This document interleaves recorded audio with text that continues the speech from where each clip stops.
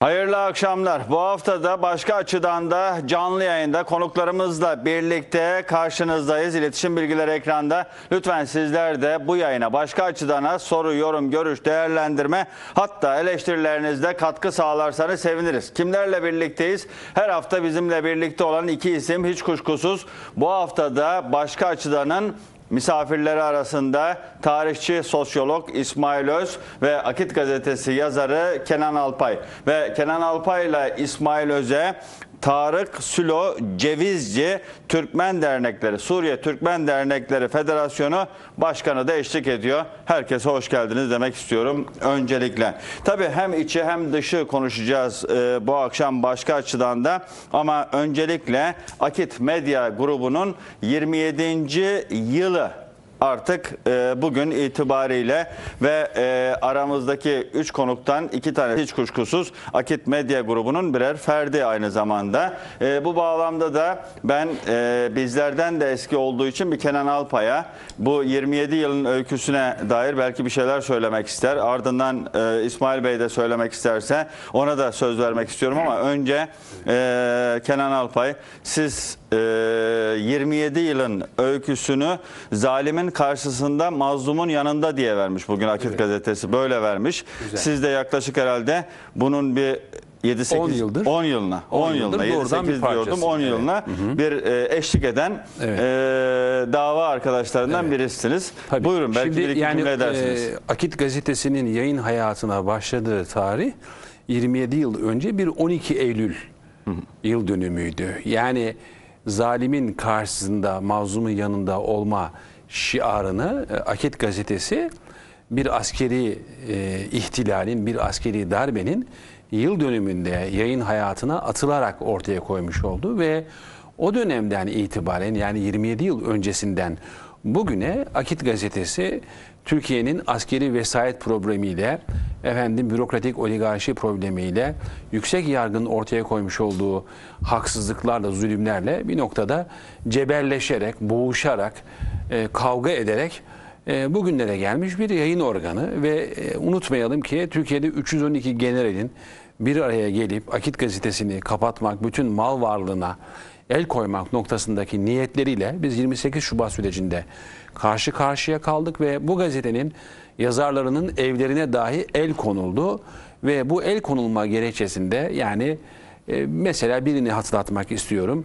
E, 28 Şubat Cuntası'nın önemli figürlerinden dönemin Deniz Kuvvetleri Komutanı Güven Erkaya'nın e, öldüğü gün Akit gazetesi e, helal etmiyoruz. Yani hakkımızı helal etmiyoruz manşetiyle çıktığında bu Akit gazetesine açılan bir davayla sonuçlanmış ve yani dünya tarihinde eşi benzeri görülmedik bir takım baskılarla hem maddi hem de manevi baskılarla müeyyidelerle Akit gazetesi karşı karşıya kaldı. Bu noktada Akit gazetesini yani herhangi bir gazete gibi görmek, sıradan bir gazete gibi değerlendirmek, bir holding gazetesi, bir reklam gazetesi, bir bilmem yandaş, candaş, şu bu falan filan gibi kategoriye koymak asla ve katla doğru olmaz. Akit gazetesi bir hakkın, hukukun mücadelesini verdi ve vermeye devam ediyor. Bu noktada yani e, 27 yıldan bu yana ortaya konulan çizgi Türkiye'de hakkın, hukukun egemenliğini e, yükseltmek, o noktada e, ahlaki değerlere zemin açmak, zemin oluşturmak ve e, gayri ahlaki unsurlara da ne olursa olsun, bedeli ne olursa olsun, bedeli ne olursa olsun muhakkak surette karşı çıkmaktı. Ve elhamdülillah bunu kendi gücü, kuvveti, kudreti oranında başarmaya çalışan bir gazete olarak ortaya çıktı. Ve az önce de zaten hem e, Mustafa abi hem Nur abi hem de Ali İhsan Bey'in ortaya koymuş olduğu değerlendirme Muharrem Bey ile beraber bu süreci e, aynel yakin şahitlikler üzerinden ifade etmişti. Yani gazetenin e, genel yayın yönetmeni e, rahmetli Hasan Karakaya'nın e, cezaevinde bulunan bir e, mafya suçundan e, suçlu e, yatan bir suçlu tarafından bir ihbar mektubuyla işte değişik suikast olaylarına giriştiğine ilişkin ihbarlar yapıldı ve Hasan Karakaya ve gazetenin yönetim kurulu üyeleri maalesef gözaltına alındılar. Uzun saatler, uzun günler orada bırakılarak onlara bir noktada e, boyun eğdirmeye çalıştılar. Ama elhamdülillah e, zulmettiler, haksızlık yaptılar, baskı yaptılar. Gazeteyi abluka altına aldılar. Muhabirinden editörüne kadar e, herkesin peşine adeta ajan taktılar, polis taktılar ama elhamdülillah boynu eğdiremediler. Bu boynu eğdirememe işleri dolayısıyla da zannediyorum onların içine e, büyük bir dert oturmuştur elhamdülillah. Bu arada da 12 Eylül'e ilişkin de bir cümle söyleyeyim. Onu daha sonra belki değerlendireceğiz tekrardan. 12 Eylül deyince de yani Türkiye'yi sadece 12 Eylül darbesiyle anmak da doğru olmaz. 12 Eylül darbesi netice itibariyle 12 Mart ve 27 Mayıs darbelerinin bir devamı ama 28 Şubat, 27 Nisan ve hatta 15 Temmuz darbesinin de bir öncülü mesabesindedir. Çünkü e, ister sağ darbe ister sol darbe olsun hiç fark etmez. E, sağ Kemalizm, sol Kemalizm hiç önemli değil.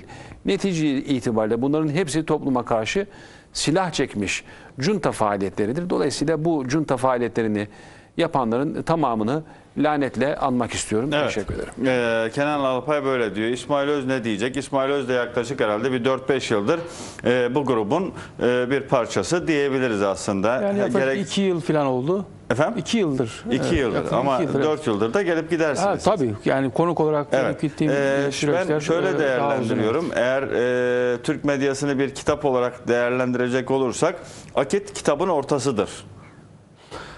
Ee, Siz nasıl değerlendiriyorsunuz? Ben şöyle söyleyeyim yani e, Akit Medya Grubu'nun tabii ki bu ülke için yaptığı şeyleri yani biz hakikaten burada e, tartışarak veya ortaya koyarak hakkını müstahakkını verme noktasında e, kafi bir şey ortaya koyamayabiliriz. Çünkü e, rahat zamanlarda herkes bir şey söyleyebilir. Herkes yorum yapabilir de ama o darbe ortamında o zulmün e, en ayyuka çıktığı, galebe çaldığı dönemde o zulme karşı direnmek ve ona bir şeyler söylemek gerçekten çok büyük bir cesaret, çok büyük bir yürek ister.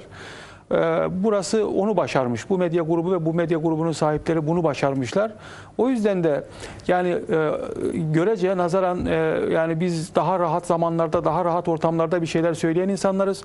O vesileyle onların yaşadıklarını yaşamadan o ortama dair bir fikir beyan etmenin de aslında hikayenin içinden olanlar kadar da hakkımız olmadığını da düşünüyorum bir yandan. E, değerlendirme noktasında gerçekten onların yaşadıkları çok başka bir yerde duruyor çünkü. E, bir yandan da bir medya grubu gerçekten de e, siyasetin kırılganlıklarına göre değil de hakkın ve hakikatin e, olması gereken yerde durarak e, onu her dönemde savunabilmenin, kendi doğrularıyla savunabilmenin içerisinde olduğu bir atmosferde yayın yapması da gerçekten çok başka bir e, duruma tekabül ediyor. O açıdan e, gerçekten Akit Medya Grubu'nun e, burada izlediği politika da bana göre çok önemli. O vesileyle e, bu e, yayın grubu gerçekten Türkiye'de ayakta kalmalı ve yaşamına devam etmeli. Uzun yıllar bu işe devam etmeli ve bu politikalarıyla devam etmeli. Görüyoruz burada her türlü fikirden insan gelip çok rahat bir şekilde e, fikirlerini ortaya koyabiliyor, düşüncelerini söyleyebiliyor. Yani bu büyük bir nimet e, diye düşünüyorum. O vesileyle yani bizim zaten e, en azından bir Müslüman olarak da yani ben şunu çok net olarak biliyorum ki bir insanı fikrinden dolayı öldürmek katilliktir. Yani bir şiddet içermiyorsa, bir zulüm içermiyorsa, karşı taraftaki kişinin hayatına kastetmiyorsa bir fikir ne kadar bize e, ters gelirse gelsin, ne kadar e, bize e, zül gibi gelirse gelsin o fikre karşı bizim mutlaka evet bir eleştiri geliştirebiliriz, farklı gö- görüş, farklı kanaat bildirebiliriz ama asla onu şiddetle sindirmek gibi bir tarafımızın olamaması gerekir, olmaması gerekir. O vesileyle bence bu medya grubu bunu çok güzel sergiliyor. Yani çok marjinal gibi düşünceler bile ben burada beraber aynı yayında zaman zaman çok gerdiğimiz, gerildiğimiz yayınlar da hatırlıyorum. Ama her şeye rağmen ben bunun büyük bir zenginlik olduğunu biliyorum. En e, hararetli tartışmaların içerisinde olan birisi olarak da bunu net bir şekilde söylüyorum. Ben o tartışmalara yine devam edeceğim mutlaka. Yani bana ters gelen ta- tartışmalara karşı hiçbir zaman yani bana ters gelen fikirlere eyvallah demeyeceğim. Mutlaka karşısına zaman zaman belki yüksek sesle de bir şeyler söyleyeceğim ama asla e, o kişinin e, onurunu, nefsini, izzetini, efendim kutsallarını asla hedef almayacağım. E, ve bunu bir zenginlik olarak kabul ederek de bunu yapacağım. Bu kanal bu fırsatı veriyor bize. Bunun için de çok teşekkür ediyorum. Evet. 12 Bence bu Eylül'le anlamda. ilgili bir şey e, herhalde kınayacaksınız siz de. Kenan Bey kınadı sadece çünkü. Yani şöyle söyleyeyim. Yani burada kınamak elbette önemli bir şey. Fakat Amerika Birleşik Devletleri'nin veyahut da ne bileyim dünyadaki bazı işte efendim Birleşmiş Milletler'in e, zaman zaman yaptığı bir şey vardır ya mesela işte kınıyorum. E, en kötü halde de işte şiddetle kınıyorum. Yani iki tane yöntem var. Ya kınarsınız ya da şiddetle kınarsınız. Dolayısıyla yani kınamak ya da şiddetle kınamak bunlar elbette önemli ama bence icraat son derece burada gerekiyor. Bizim fikrimizle, zikrimizle, yazdıklarımızla, icraatlarımızla, ortaya koyduklarımızla darbeye karşı direndiğimiz ve ne söylediğimiz önemlidir. O açıdan bunu ben değerlendiriyorum. Dolayısıyla e, bu medya grubu bu anlamda da bu icraatı ortaya koymuş. Yani böyle hani kınıyorum, şiddetle kınıyorumdan öteye giden bizim hani yine Peygamber Efendimizin e, o meşhur hadisi şerifinde de hani mealen e, bir kötülük gördüğünüzde onu e, elinizle düzeltin. Yetmiyorsa gücünüz buna yetmiyorsa dilinizle düzeltin. Buna da gücünüz yetmiyorsa e, kalbinizle buğz edin ki bu da imanın en zayıf noktasıdır diyor bizim inancımız. Dolayısıyla kimin neye gücü yetiyorsa Muhakkak birimizin e, eli belki oraya yetmiyordur ama kalbinden öyle bir buğz eder ki, öyle bir ah eder ki hani e, zalimin e, zulmünü rişteyi e, bir şey e, bir rişteyi ah keser diyor ya. Yani bir zalimin zulmünü bir ah keser. Ama gönülden bir ah keser. Öyle bir ah edilir ki o ah o zulmü durdurabilir. Yani ben bu anlamda buğzu böyle evet e, ezaful iman yani en zayıf nokta olarak e, peygamberimiz değerlendiriyor eyvallah. Ama bir mazlumun gücün karşısındaki o e, çaresizliğiyle beraber ortaya koyduğu o yavrunun, bir çocuğun, bir bebeğin, bir yaşlının o ahı var ya dünyanın en büyük zaliminin zulmünü bile e, bertaraf edebilecek kadar kuvvetli bir sese, kuvvetli bir dirence dönüşebilir. Bu açıdan da bunu başka bir yere koyuyorum. Ama e, dediğim gibi kimin neye gücü yetiyorsa ama bir gün inşallah bu İslam coğrafyası sadece buğz etmeyi değil, sadece diliyle bir şeyler söylemeyi değil ama icraatlarıyla da dünyaya nizam vermeyi ve denge olmayı başarabilecek yeni yeniden bir güce kavuşabilir. Bir Osmanlı, bir Selçuk, bir Selçuklu e, pozisyonuna gelebilir. Bir Abbasi gücüne gelebilir. Dolayısıyla da inşallah o tarih bizim tarihimiz neticede. O vesileyle ben bunları hakikaten tekrardan bir Müslüman olarak da arzulayan bir Müslüman olarak da dua ediyorum ama e, darbelere dediğim gibi sadece kınamak ya da şiddetle kınamaktan ziyade onlara karşı ne yaptığımızı göstererek de bunu sahih Evet, olarak aslında hayatımızda keşke göstermek bunu birazcık durumundayız. daha konuşabilsek Eyvallah. de isterim ama şimdi tabii Suriye Türkmen e, dernekleri federasyonu başkan aramızda olunca ister istemez birazcık Suriye konuşmak da e, zorundayız. Oradan girelim istiyorum ama ardından birazcık iç siyasete e, gireceğiz hiç kuşkusuz. Ama Akit Medya Grubu da Akit Gazetesi'ni 12 Eylül gibi bir tarihte 12 Eylül 1993'te yayın hayatına e, dahil ederek aslında o zalimlere e, söyleyeceğini söylemiş ve mazlumların yanında olduğunu da ispatlamış bir yayın organı ve o çizgisini de 27 yıldır e, devam ettiriyor ki geçmişinde de başka yayın organları da e, var. Onu da biliyoruz ki bizden önceki yayında da e, kurumun 3 patronu ekrana çıkıp hepsini ayrıntılı olarak anlattılar. O yüzden de Sülo Tarık Sülo'ya sormayacağım tabii. Yani Akit'le ilgili ne düşünüyor diye sormayacağım. O belki Akit'i bilmiyor bile olabilir. Ne zaman siz Türkiye'de bulunuyorsunuz? Yeni mi geldiniz yoksa geçmişte gelenlerden misiniz? E, bilmek adına soruyorum bütün bunu. Ben 2004 yılında geldim. Ee, Yani ben Akit'i tanıyorum yani e, yabancısı değilim ve e, ilk geldiğim yıllarda tanıştım ve e, ya uzun bir müddet e, her gün aldığım bir gazeteydi. E, Yani 2004 yılında Türkiye'ye gelmiş birisi olarak yani ya- e, bir Suriye'den tabii ben Halep'ten geldim. Ee, üniversite okumak için gelmiştim. Üniversite okuyordum o yıllarda. O günlerde tanışmıştım yurtta kalırken. Ee, bu gazete, e, ben çünkü birçok gazete okudum e, o tarihlerde. Ama yani bizi tatmin eden bir şey bulamıyordum. Ee, ve arkadaşlara sordum ya dedim yani ya ben bu gazetelerde bir şey anlamıyorum yani e, yani bizim derdimize e, basmıyorlar yani derdimizi e, dertlenmiyorlar. Dedim başka ne var buralarda? Dediler bir de şey var Akit gazetesi var ona da bir bak dediler.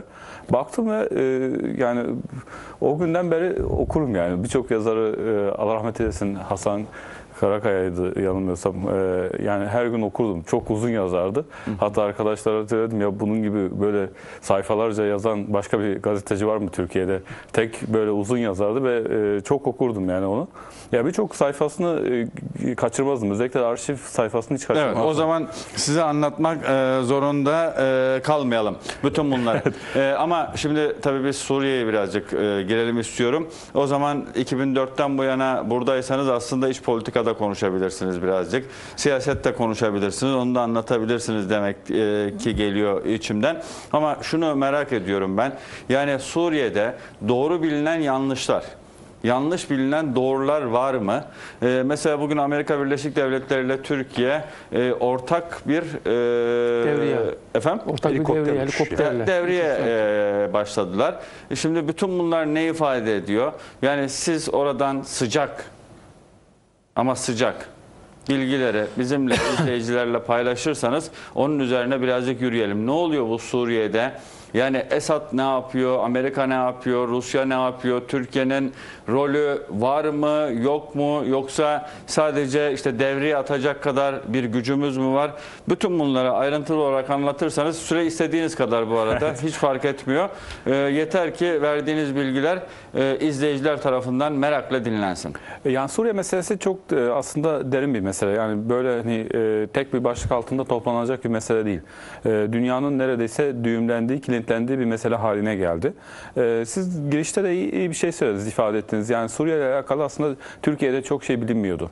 E, Ben işte 2004'te geldiğimde Suriye'den geldiğimi söyleyince Suriye ile alakalı yani e, yani o kadar e, uzak yani bir e, kitleyle karşılaştığımda şaşırmıştım.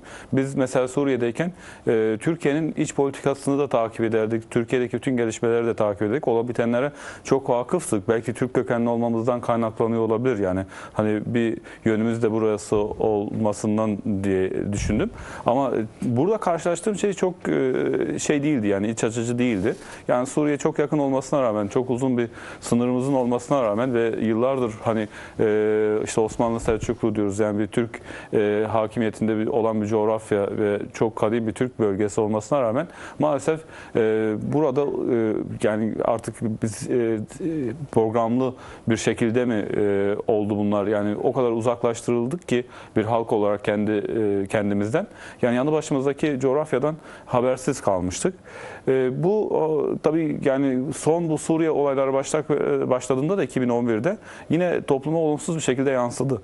Yani e, yani orada olan bitenler e, çok doğru bir şekilde anlatılamadı. Daha şimdiye kadar da tam olarak anlatıldığını ben e, düşünmüyorum. Özellikle de yani e, dış istihbarat, yabancı ülkeler, Türkiye'de iç e, kargaşa çıkartmak için, istikrarı bozmak için sürekli Suriyeliler üzerinden e, kaşıma olayları yapıyorlar, provokasyonlar yapıyorlar ve sürekli e, iki halkı birbirine kırdırmaya çalışıyorlar.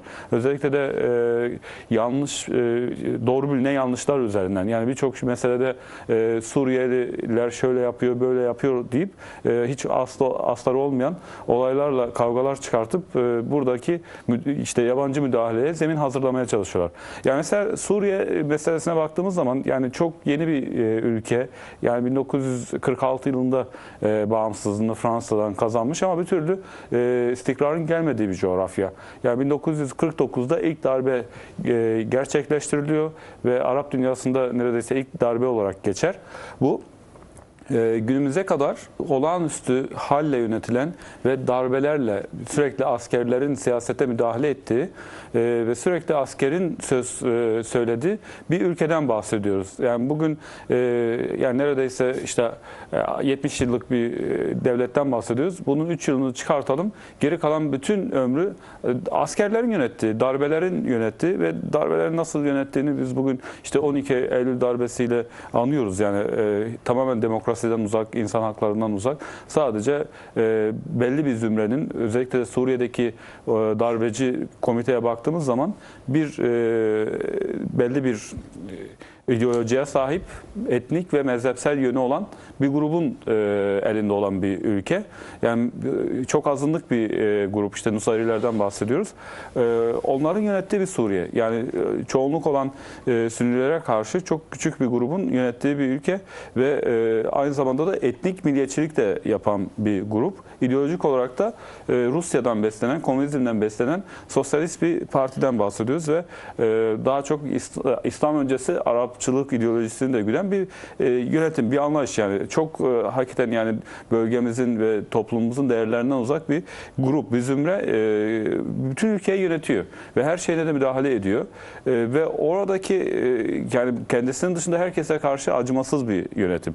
Zaten biz 2011 olaylarıyla başladığında da bu iktidarın ne kadar acımasız olduğunu biz gördük.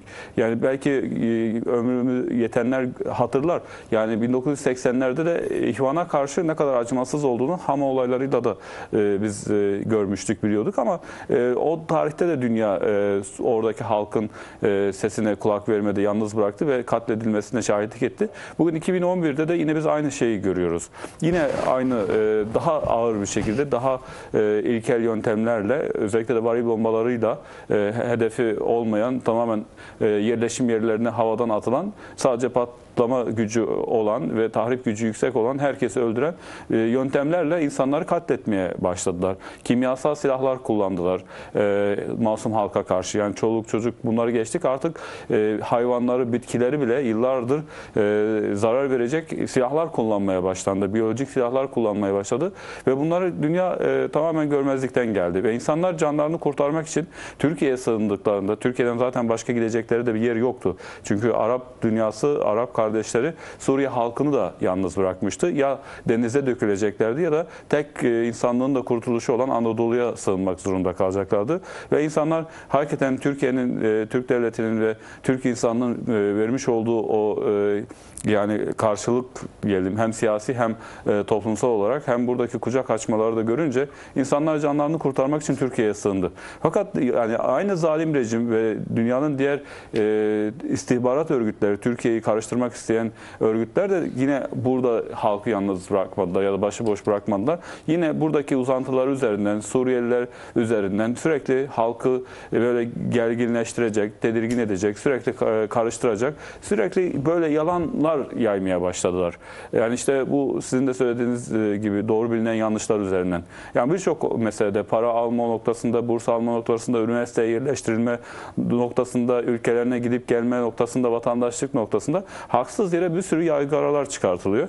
Ve bunların dikkat ederseniz gün be gün her birinin e, aslı da ortaya çıkıyor. Yani hangi örgütlerin, hangi grupların bunu organize ettiği, planladığını, profesyonelce yaptığı da devletimiz tarafından her gün deşifre ediliyor. Yani burada e, amaç yani Türkiye'ye kucak açmış yani insanlık e, tamamen zaviyesinden değerlendirdiğimiz bir meselede e, Türk halkının bu kadar aslını e, istismar edip sürekli Türkiye'yi, Türkiye'deki mevcut e, yapıyı bozmak için, devirmek için her türlü meseleyi istismar eden e, yabancı e, servisler diyelim. Aynı zamanda ülkeler bu Suriyeliler meselesinden de sürekli Türkiye'yi, Türk halkını germeye çalışıyor. Yani en kötüsü işte bugün seçimlerdeki e, yenilgilerin faturasını Suriyelilere kesmek gibi işte ekonomik krizi Suriyelilere kesmek gibi bu, bu tür yani hani e, tamamen e, şey yani efsane olan ya da e, safsata olan iddialarla e, sürekli Türkiye'nin gerçeklerini yalanlarla değiştirmeye çalışıyorlar. Bu bu noktada tabii biz elimizden geldiği kadar yani bildiğimiz doğruları anlatmaya çalışıyoruz. Gerek derneklerimiz aracılığıyla gerek sizlerin aracılığıyla. Yani burada aslında yani e, çok büyük bir fedakarlık yapıldığını, çok büyük bir dünyaya insanlık örneği gösterilen Türkiye'nin bu Türk halkının yapmış olduğu iyiliklerini yani kimler e, ne kadar anlatsa azdır. Yani bir bakıma bakıyoruz işte Avrupa diyoruz. Dünya işte medeniyetinin beşiği olarak gösterilen sözde o medeniyet merkezi. İngiltere'nin kaç tane Suriyeli mülteci aldığını sorduğumuz zaman yani iki haneyi geçmiyor aldıkları mülteci sayısı ve onlarla daha hala e, nasıl mücadele edeceklerini, onları nasıl geri göndereceklerinin hesabını yapıyorlar. E, yine bakıyoruz diğer Amerika'ya, Kanada'ya yine parmakla sayılacak kadar mülteci alıyorlar. Ama Türkiye'ye baktığımız zaman e, 3,5 milyonu aşmış sadece Suriyeli'den bahsediyorum. Yani Suriye'nin dışında başka ülkelerden de Irak'tan da Afganistan'dan da e, yani Kuzey Afrika'dan da gelen mülteciler var. Bir o kadarına da Suriye'de bakıyor. Yani bugün İdlib dediğimiz bölgede e, Fırat Kalkanı bölgesinde Zeytin Dalı Harekatı bölgesindeki oradaki insanlara da yine Türkiye bakıyor. Yani birçok manada onların e, ihtiyaçlarını gideriliyor. E, yani bu dediğimiz bahsettiğimiz coğrafya Yani e, çok dar bir bölge olsa da ama Suriye'nin birçok bölgesinden e, getirilmiş mültecilerle dolduğu için zaten e, bu bölge çadır bölgesi haline geldi. Hani ben kamptan bahsetmiyorum, bir kentten bahsetmiyorum. Yani gözünüzün aldığı yeri artık çadırlarla dolu. İnsanlar zeytinliklerin altında, ağaçların altında şu an yaşıyor. Orada hayatlarını devam ettirmeye çalışıyorlar. Ve bunların bütün ihtiyaçları, gıdaları, gi- giysileri yani Türkiye'den e, gelen yardımlarla sağlanıyor. Bunun dışında baktığımız zaman Amerika, Rusya Suriye'de asker bulunduruyor, müdahale ediyor ve sürekli buradaki e, çatışmaları devam ettirirken Türkiye oradaki e, e, çatışmasızlığı sağlamaya, terörü bitirmeye, orada istikrar kurmak için bir sürü girişimlerde buluyor. Hem sahadaki yerel yönetimleri destekleyerek hem uluslararası arenada diplomasi yürüterek hem Rusya ile hem Amerika ile de belli anlaşmalar yaparak buradaki istikrarı sağlamaya çalışıyor. Ama diğer bir yandan bakıyoruz Rusya sürekli e, gerilimi arttırarak, sürekli hava saldırıları düzenleyerek oradaki insanların evlerini başlarına yıkmaya e, başladı. Zaten Han Şeyhun'da, Moruk'ta gördük bunu son olarak. E, yine Marat Namen'e de bugünlerde e, operasyon hazırlığı içerisinde olduğu haberler geliyor. Yani burada 3,5 milyon insanı Türkiye'nin sınırlarına yığmaya çalışıyor. E, diğer bir yandan bakıyoruz Fırat'ın doğusunda e, PKK gibi yani dünyaca belli artık yani terör bir örgütünü devletleştirmeye, meşrulaştırmaya çalışacak adımlar atıyor. Orada yerel yönetimler kuruyor. O yerel yönetimlere akıl vererekten onların e, PKK'nın elemanlarını meşrulaştırmaya çalışıyor. Yerel sanki halkların komitesi olarak göstermeye çalışıyor.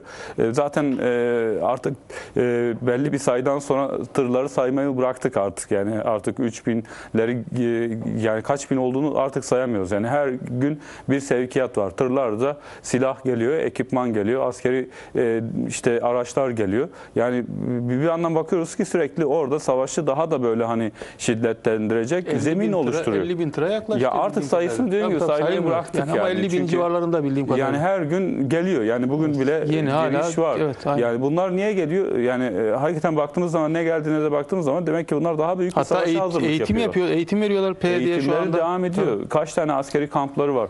Ee, 30 bin tane PYD'li kendi- eğiteceğiz diye Amerika Birleşik Devletleri Genelkurmay Başkanı O açıklama zaman yaptı. ama Yani bütçe İsmail ayırdılar Bey, bunun için. Bey, Yani o Türk- kadar- o Türkiye'nin doğru- yaptıklarına bakın, Amerikan, Rusya'nın yaptıklarına O bakın. zaman şu soru akla geliyor. Yani Amerika ile biz niye o zaman bir devriye atıyoruz? Şimdi soru bu bir. iki yani bu e, Beşar Esad'ın ya da baba Hafız Esad'ın e, Suriye'de e, yaptıkları 40 yıla dayalı bir hikaye öyle değil mi? Yani minimal 40 yıl. Yani herhalde Humus 70, olaylarını 70 düşündüğümüzden kaçta yana mesela e, yani- Yani resmi 69'da Hafız Esed e, darbe yönetime yapıyor. geliyor. Bizzat ele geçiriyor. Ha, darbe Ama yapıyor. 60 66'daki darbede o da var ama 69'da yanlış biliyorsam tarih Doğrudur, düzelsin. doğrudur. 69'da tamamen hani artık 50 Baas yıllık, rejimiyle, 50 yıllık. Evet, Baas rejimiyle Baas 63'te. e, Esed rejimi tamamen Büt- eşit, bütünleşiyor, eşitleşmiş oluyor, özdeşleşmiş Zaten oluyor. Arap coğrafyasındaki o bağışçı Belki- e, domino etkisi Evet, her yerde. burada e, belki orada- Tarık Bey'in kaldığı yerden ben bir müsaade Bir, e, Şimdi Kenan Bey yapmayın isterseniz bir reklam arası vereyim ki kesmeyeyim Tamam, daha olur. sonra.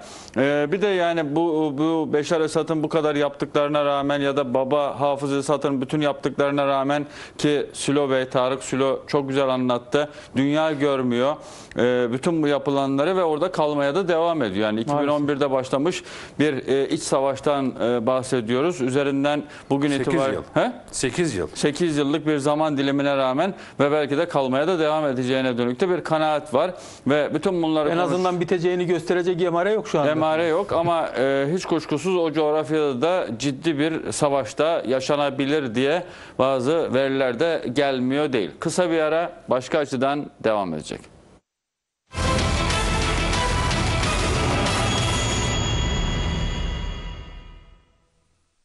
Başka açıdan ha, reklam arası verdik. Reklam arasının ardından kaldığımız yerden yayına devam ediyoruz. Birazcık Suriye'yi konuşuyoruz. Çünkü Suriye Türkmen Dernekleri Federasyonu Başkanı aramızda. Tarık Sülo Cevizci aramızda ve Kenan Alpay ve İsmail Öz'le birlikte Suriye'yi konuşmaya devam ediyoruz. İletişim bilgileri de ekranda. Sizler de katkı sağlarsanız seviniriz. Aslında Tarık Sülo Cevizci birazcık e, özet yaptı. Suriye'ye ilişkin özet yaptı. Şimdi e, Kenan Alpay birazcık daha onu açacak anladığım Evet. kadarıyla. müsaade ederseniz şöyle e, şimdi e, Tarık Bey hakikaten yani 1940'lardan yani güya e, Fransa'dan bağımsızlığını kazandığı dönemden bugüne özet yaparken e, dedi ki 1946'da Fransa'dan bağımsızlığını kazandı ama 49'da askeri darbe oldu ve bu Arap dünyasında yapılan ilk askeri darbeydi. Dolayısıyla aslında 49 senesinden bugüne Suriye bildiğiniz askeri juntalarla, askeri rejimlerle yönetilen bir e, rejim, bir despotik rejim yani. Şimdi bugün aslında tesadüf eden günde yani 12 Eylül günü şimdi mesela birçok televizyonda 12 Eylül meselesi konuşuluyor, tartışılıyor. Kenan Evren ve dönemin Milli Güvenlik Konseyi'nin askeri cezaevlerinde yapmış olduğu bir takım işkenceler var. Yani Mamak'tan başlayıp Diyarbakır askeri cezaevine kadar yani binlerce insan korkunç işkenceler gördü. Yani en kısa gözaltının 90 gün olduğu günlerden geçti Türkiye ve e, 50'den fazla insan bir fiil e, rejim tarafından askeri mahkemelerde yargılandı. Kiminin yaşı büyütüldü ve oralarda idam edildi. Şimdi Kenan Evren deyince Türkiye'de akla ne geliyor? Askeri junta geliyor, faşizm geliyor değil mi? Diktatörlük geliyor, despotizm geliyor, militarizm geliyor.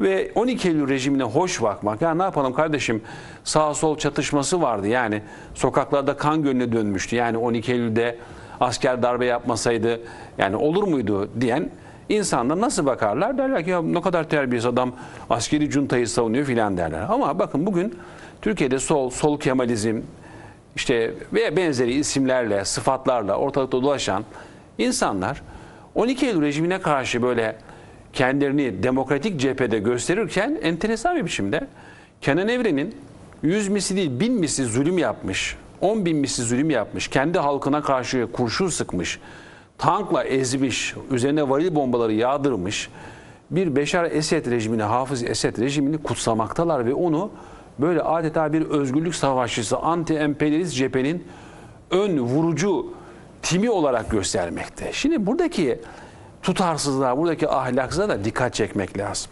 İkinci olarak da şöyle bir şey var. Şimdi Suriye meselesini yani biz her ne kadar yoğun bir biçimde bugün bir PKK meselesi, bir PKK'nın garnizon devlet kurma meselesi, kurdurulma meselesi olarak görüyorsak da aslında bölgede üç türlü tehdit var ya da dört türlü tehdit var. Yani bir evet bir PKK tehdidi var doğru. Fırat'ın doğusu dediğimiz bölge. Ama iki aynı zamanda bununla beraber bu tehdidi yıllarca kucağında beslemiş olan bir Esed rejimi meselesi var. Üç, kimi Esed rejimini korumak üzere, kimi de PKK'yı korumak üzere bölgeye gelmiş olan emperyalist devletler var. Yani evet bugün Amerika bu PKK devletinin, PKK garnizon devletini kurmak için bölgeye gelmiş, yığınak yapıyor. Bir takım askeri bölgeler kuruyor, inşa ediyor filan vesaire. Ama aynı zamanda o bölgeye Esed rejimini korumak üzere iki farklı devlet de var. Birisi Rusya, birisi de İran.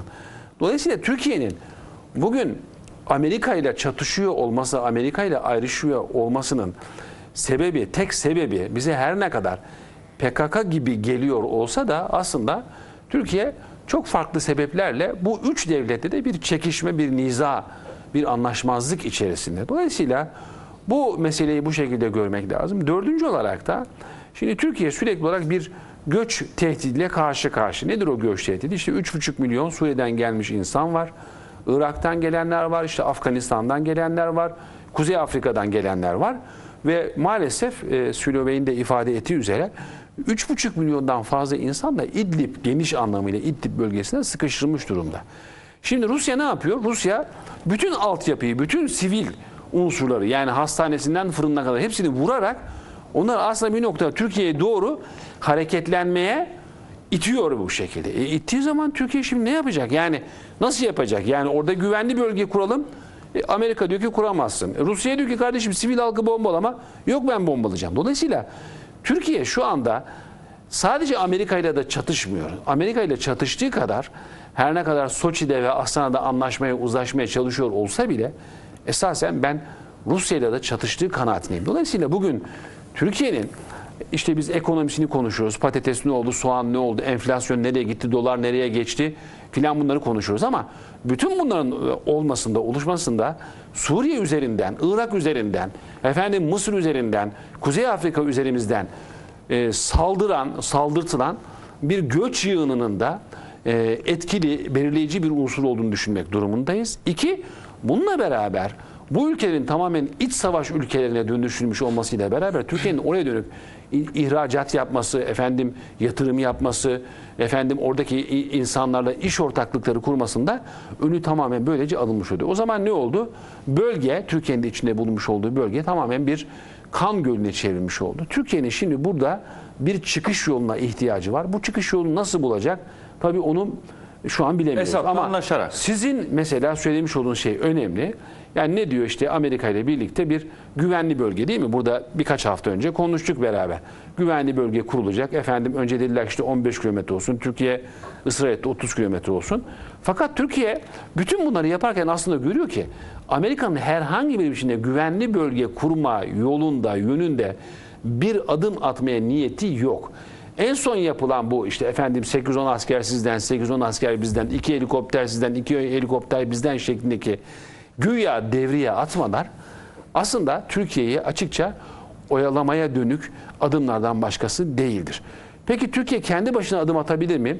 Yani ben çok kolay görmüyorum onu ama Türkiye'nin yapması gereken en önemli işlerden biri belki bir noktada bölgeye askeri yığınak yapmaktır ama bir taraftan da belki ortaya çıkacak vahim tablodan ötürü Avrupa'nın da başının çok çok ağrıyacağını görerek, hesap ederek onların gündemine getirerek Avrupa'nın da bölgeye dönük Türkiye'nin politikasını destekleyici adım atması yönünde teşvikler olabilir. Ama Avrupa'da biliyorsunuz her zaman olduğu gibi ikircikli oynayan, asla sahaya inmeyen, sadece oyun bozmaya matuf adımlar atan bir politika içerisinde. Zaten kendi içinde bir karmaşa var. Dolayısıyla Türkiye'nin şu aşamada çok kolay, çok içinden çıkılması mümkün bir aşamada olmadığını ifade etmek isterim. Şimdi ben de e, tabii e, Tarık Bey'in söylediği şeyler gerçekten önemli. Çünkü zaten hani o sahayı bizatihi bilen, e, orayla sürekli irtibatta olan birisi olarak e, önemli, güzel şeyler ifade etti. E, burada dikkat çektiği şeylerin içerisinde tabii ki benim son dönemlerde de yani Türkiye açısından değerlendirdiğimizde e, gerçekten üzüldüğümüz şeyler var. Yani bunlardan bir tanesi Tabii e, bugün biz biliyoruz ki bu Birleşik Arap Emirlikleri sermayesi, işte bu Suud sermayesi ki bugün hakeza işte bugün e, yine Gü- Güney Kıbrıs'ta değil mi? E, Suudi Arabistan Dışişleri Bakanı'nın yani hezeyanları diyeyim. Yani öyle söyleyeyim hezeyanları. Şimdi bütün bunlar aslında bu coğrafyada kimin neyi nasıl domine etmeye çalıştığı ile ilgili. E, hakeza yine işte o Lübnan'daki işte Osmanlı tarihine Bir dönük e, işte efendim e, ifadeler yine Suudi Arabistan'daki tarih kitaplarına e, sokulmaya çalışılan ibareler falan gibi şeyler. Yani bütün bunlar aslında e, bir e, bir dizaynın, bir e, bir konfigürasyonun öyle ifade edeyim. Yani en güzel ifadelerden bir tanesi bu olacaktır. Çünkü eğer e, siz e, bir tarihsel zeminden referans almayan, spontan olarak yani kendiliğinden kendi doğası seyri içerisinde ortaya çıkacak fırsat ve olaylar olarak tarihsel zincirin içerisinde gelişmiş olay olarak değil de siz onları kendi e, icatlarınızla yeni ortaya koyduğunuz şeylerle bir konfigürasyona, bir düzenlemeye, yeni bir yapılanmaya tabi tutuyorsanız o zaman e, bu icatlarla siz demek ki bu coğrafyada başka bir şeyler e, ortaya koymak istiyorsunuz. Fakat bu ta- bu coğrafyanın tarihi gerçekleri var. Yani bütün bunları yok sayarak sizin bu coğrafyada bir şey yapma şansınız da gerçekten yok. E, zira e, bu e, DAEŞ gibi yapılar, efendim PYD gibi yapılar yani barbar tutumlu yapılar öyle söyleyeyim. Bütün bu barbar tutumlu yapıların zaten bu sahada faaliyete sokulmasının en temel sebeplerinden bir tanesi budur. Yani eğer ortaya bir konfigürasyon çıkaracaksanız, ortaya bir icat çıkaracaksanız öncelikle o coğrafyadaki bütün tarihi bakiyeyi yok etmeniz, e, darmadağın etmeniz lazım. Anlatabiliyor muyum? Yani o hafızayı darmadağın ettikten sonra siz orada kendi sözünüzü söyleme durumuna geçebilirsiniz. Barbarların en e, faal olarak ortaya koydukları tablo budur. O yüzden de öncelikle buraya bu barbarları e, bu sahanın içerisine soktular. Ondan sonra bu barbarlar görevini iyi yapabilir ve coğrafyada bütün hafızayı darmadağın edebilirlerse arkasından o coğrafyalarda kendi konfigürasyonlarını, kendi kurgularını, kendi icatlarını gerçekleştirmek isteyenler sahaya gelirler. Bu hep böyle olmuştur yani. O vesileyle mesela e, bugün Türkiye'de de özellikle e, işte yabancılara karşı, Araplara, Suriyelilere karşı çok ciddi bir kara propaganda söz konusu. Yine bu kara propagandanın Son arkasında iki da aydır yok ama yani. Son Nasıl? iki aydır yok. 23 ama neden? Sonra ama, yok ama, ama neden? Var, Hani var. seçimler seçimlerden sonra belki bunun dozu biraz düşmüş gibi görünse de bu bu ciddi anlamda hala var. Fakat bugün e, bunu Türkiye'nin atmosferini, Türkiye'nin huzurunu bozma ile ilgili fırsatı yakaladıklarında veya zeminin ona uygun hale geldiğini başladıklarında bu harareti yükselteceklerinden de emin olabiliriz yani. Allah korusun. Yani Allah hiçbir zaman bunu bu fırsatı vermesin. Yok zaten yani, başka düşman aramaya e, gerek yok. Türkiye'nin içindeki o ırkçı, Evet, kafatasçı, evet. Yani buna meyyal- Suriye ve buna meyyal, Müslüman tabii. muhacirlerin düşmanı Evet. Sinan Ogan gibi, efendim Ümit Özdağ gibi, Lütfi Türkan gibi, Oda TV, Sözcü Gazetesi, Buna meyyal çok kişi Gazetesi. var. Bu yapı var. Bunlar zaten Organizasyon o var. o kafatasçı Evet. yaklaşımlarıyla Suriyeliler hakkında her türlü iftirayı, yalanı ortaya koyup milleti kışkırtan, milleti Suriyelilere karşı düşman eden yaklaşımlar var. Örnek mesela bir tanesi çok affedersin tabii, İsmail. tabii, problem. Yani diyelim ki en son haber e, sitesi ya da bir Son e, zamanlarda ona ne olduysa bunlar ne yapıyor? yani, evet, bir tabii. genç bir çocuğu çıkartıyor. Bir gün bir bakıyorsun bu çocuk Suriyeli gibi konuşuyor. Efendim Evet. devletten maaş alıyoruz, üniversiteye gidiyoruz, efendim para vermiyoruz, elektrik parası ödemiyoruz, su parası ödemiyoruz. Bu konuşmaları yapıyor. Çok rahatız. Türkiye bize daha çok maaş versin diyor. Aradan bir ay geçiyor. Aynı çocuk bu sefer Suriyeliler gitsin defolsun diye bir başka konuşma yapıyor. E ne ne yapıyorsunuz dediği zaman e biz efendim şey yapıyoruz. E, ne diyor? Sosyal deney yapıyoruz. Yani her türlü yalanı, iftirayı, manipülasyonu yapıyor ve bunu maalesef çok hızlı bir biçimde yaygınlaştırıyorlar.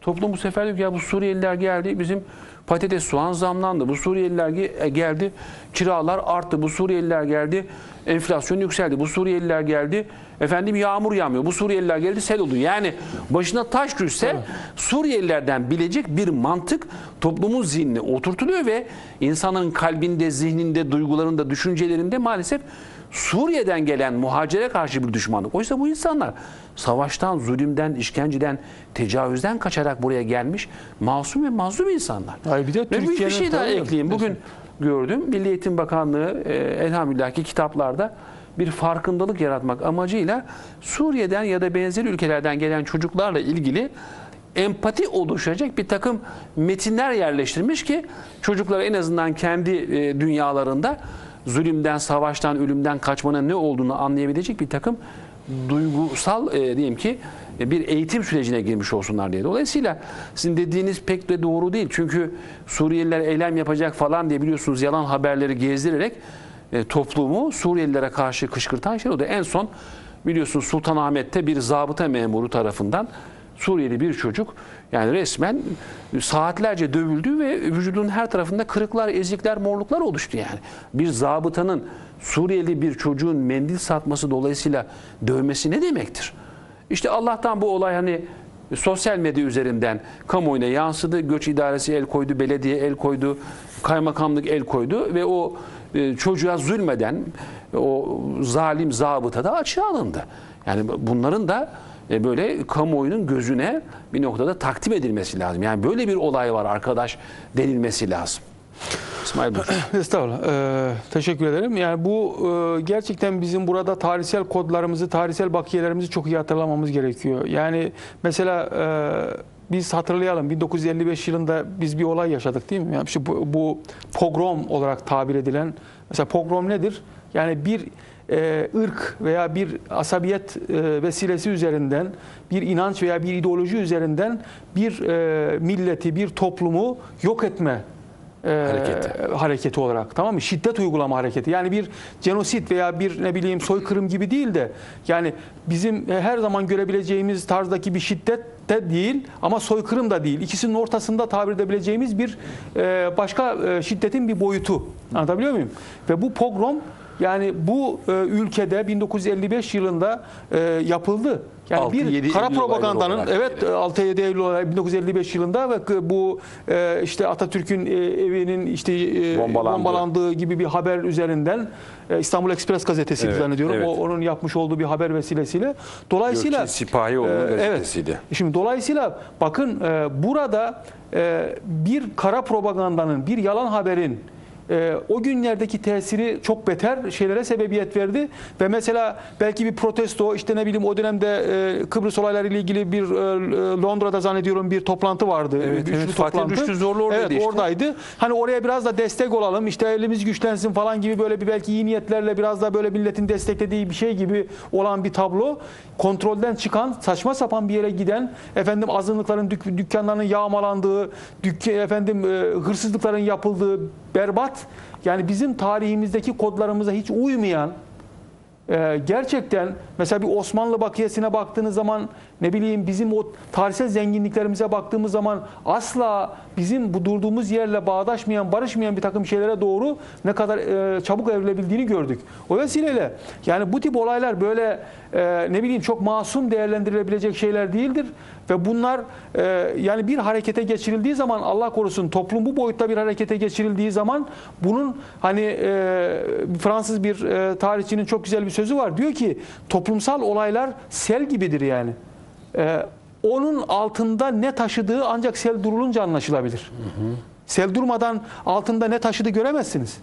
Anlatabiliyor muyum? Mesela şeyi de e, taşı toprağı efendim neyi taşıyor bilmezsiniz ama e, Allah korusun işte bu sosyal olaylar aynen böyledir. Şeyi dolayısıyla bu bir harekete geçtiği İsmail, zaman yani çok kötü bir yere gider. 6 7 8 Ekim'de Evet. değil mi? Nitekim, Selahattin e, aynen. Demirtaş'ın ve HDP'lerin çağrısıyla ortaya bugün- konulan eyvallah, evet. katliamı mesela onu da örnek O da bu da örnek. Mesela işte gezi olayları hakeza hareketlendirilmek istendiğinde nereye gidebileceğini Allah korusun yani bu yani tarihten örneklendirmediğinizde tarihsel bakiyeleri bu anlamda bize ne bıraktı ne götürdüğü bilmeden bu olaylara böyle körü körüne bir takım destek verenler e, ve e, son dönemlerde maalesef ben şunu da görüyorum yani bizim ülkemizde böyle zorlama iyimserlikler var. Zorlama. Yani ben bundan önce mesela belli dönemlerde hiç görmediğim iyimserlikleri bugün bakıyorum ki böyle toplumun kodlarıyla, toplumun değerleriyle hiç barışmayan mevzularda inanılmaz derecede güzellemeler yapan zorlama iyimserlerimiz var bizim yani.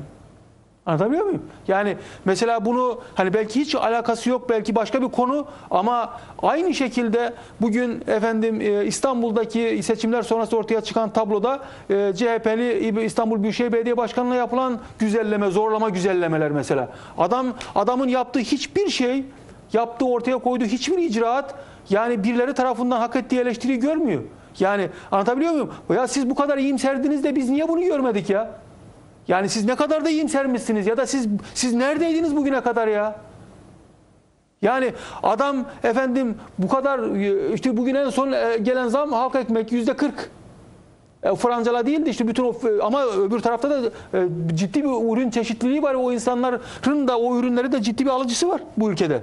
Yani dolayısıyla ne yaparlarsa yapsınlar bugün işte İzmir'e bakıyorsunuz yüzde 900 bilmem ne zam yapmış kırsal bölgelerdeki yerlerdeki su e, fiyatlarına. Öbürü e, ya bir sürü şey söylediniz kardeşim. Yani ne kadar iyimsersiniz siz ya. Yani ya adam ne yaparsa yapsın öyle bir e, bakiye tanınmış ki belli yani bu bakiye hiç bitmiyor. Ama şimdi Yani İsmail Bey. bir de böyle bir şey var. bu- Ve bu, burada- bu söyledi- pek çok konuda bu Ben de- zorlama, iyimserlik pek çok konuda devam da ediyor. Ve bizim- Suriye'de mesela Suriye ile ilgili Tarık Sülo Evet. Bey'in anlattıkları yani dünya Beşar Esad'ın zulmüne sessiz. İşte orada da zorlama, Şimdi- iyimserlik var Tamam, yani. Orada her türlü iyimserliği burada- bu dünya burada nasıl şu. gösterebiliyor bu burada kadar şu. yani? Yani siz anlatıyorsunuz. Niye ikna edemiyorsunuz?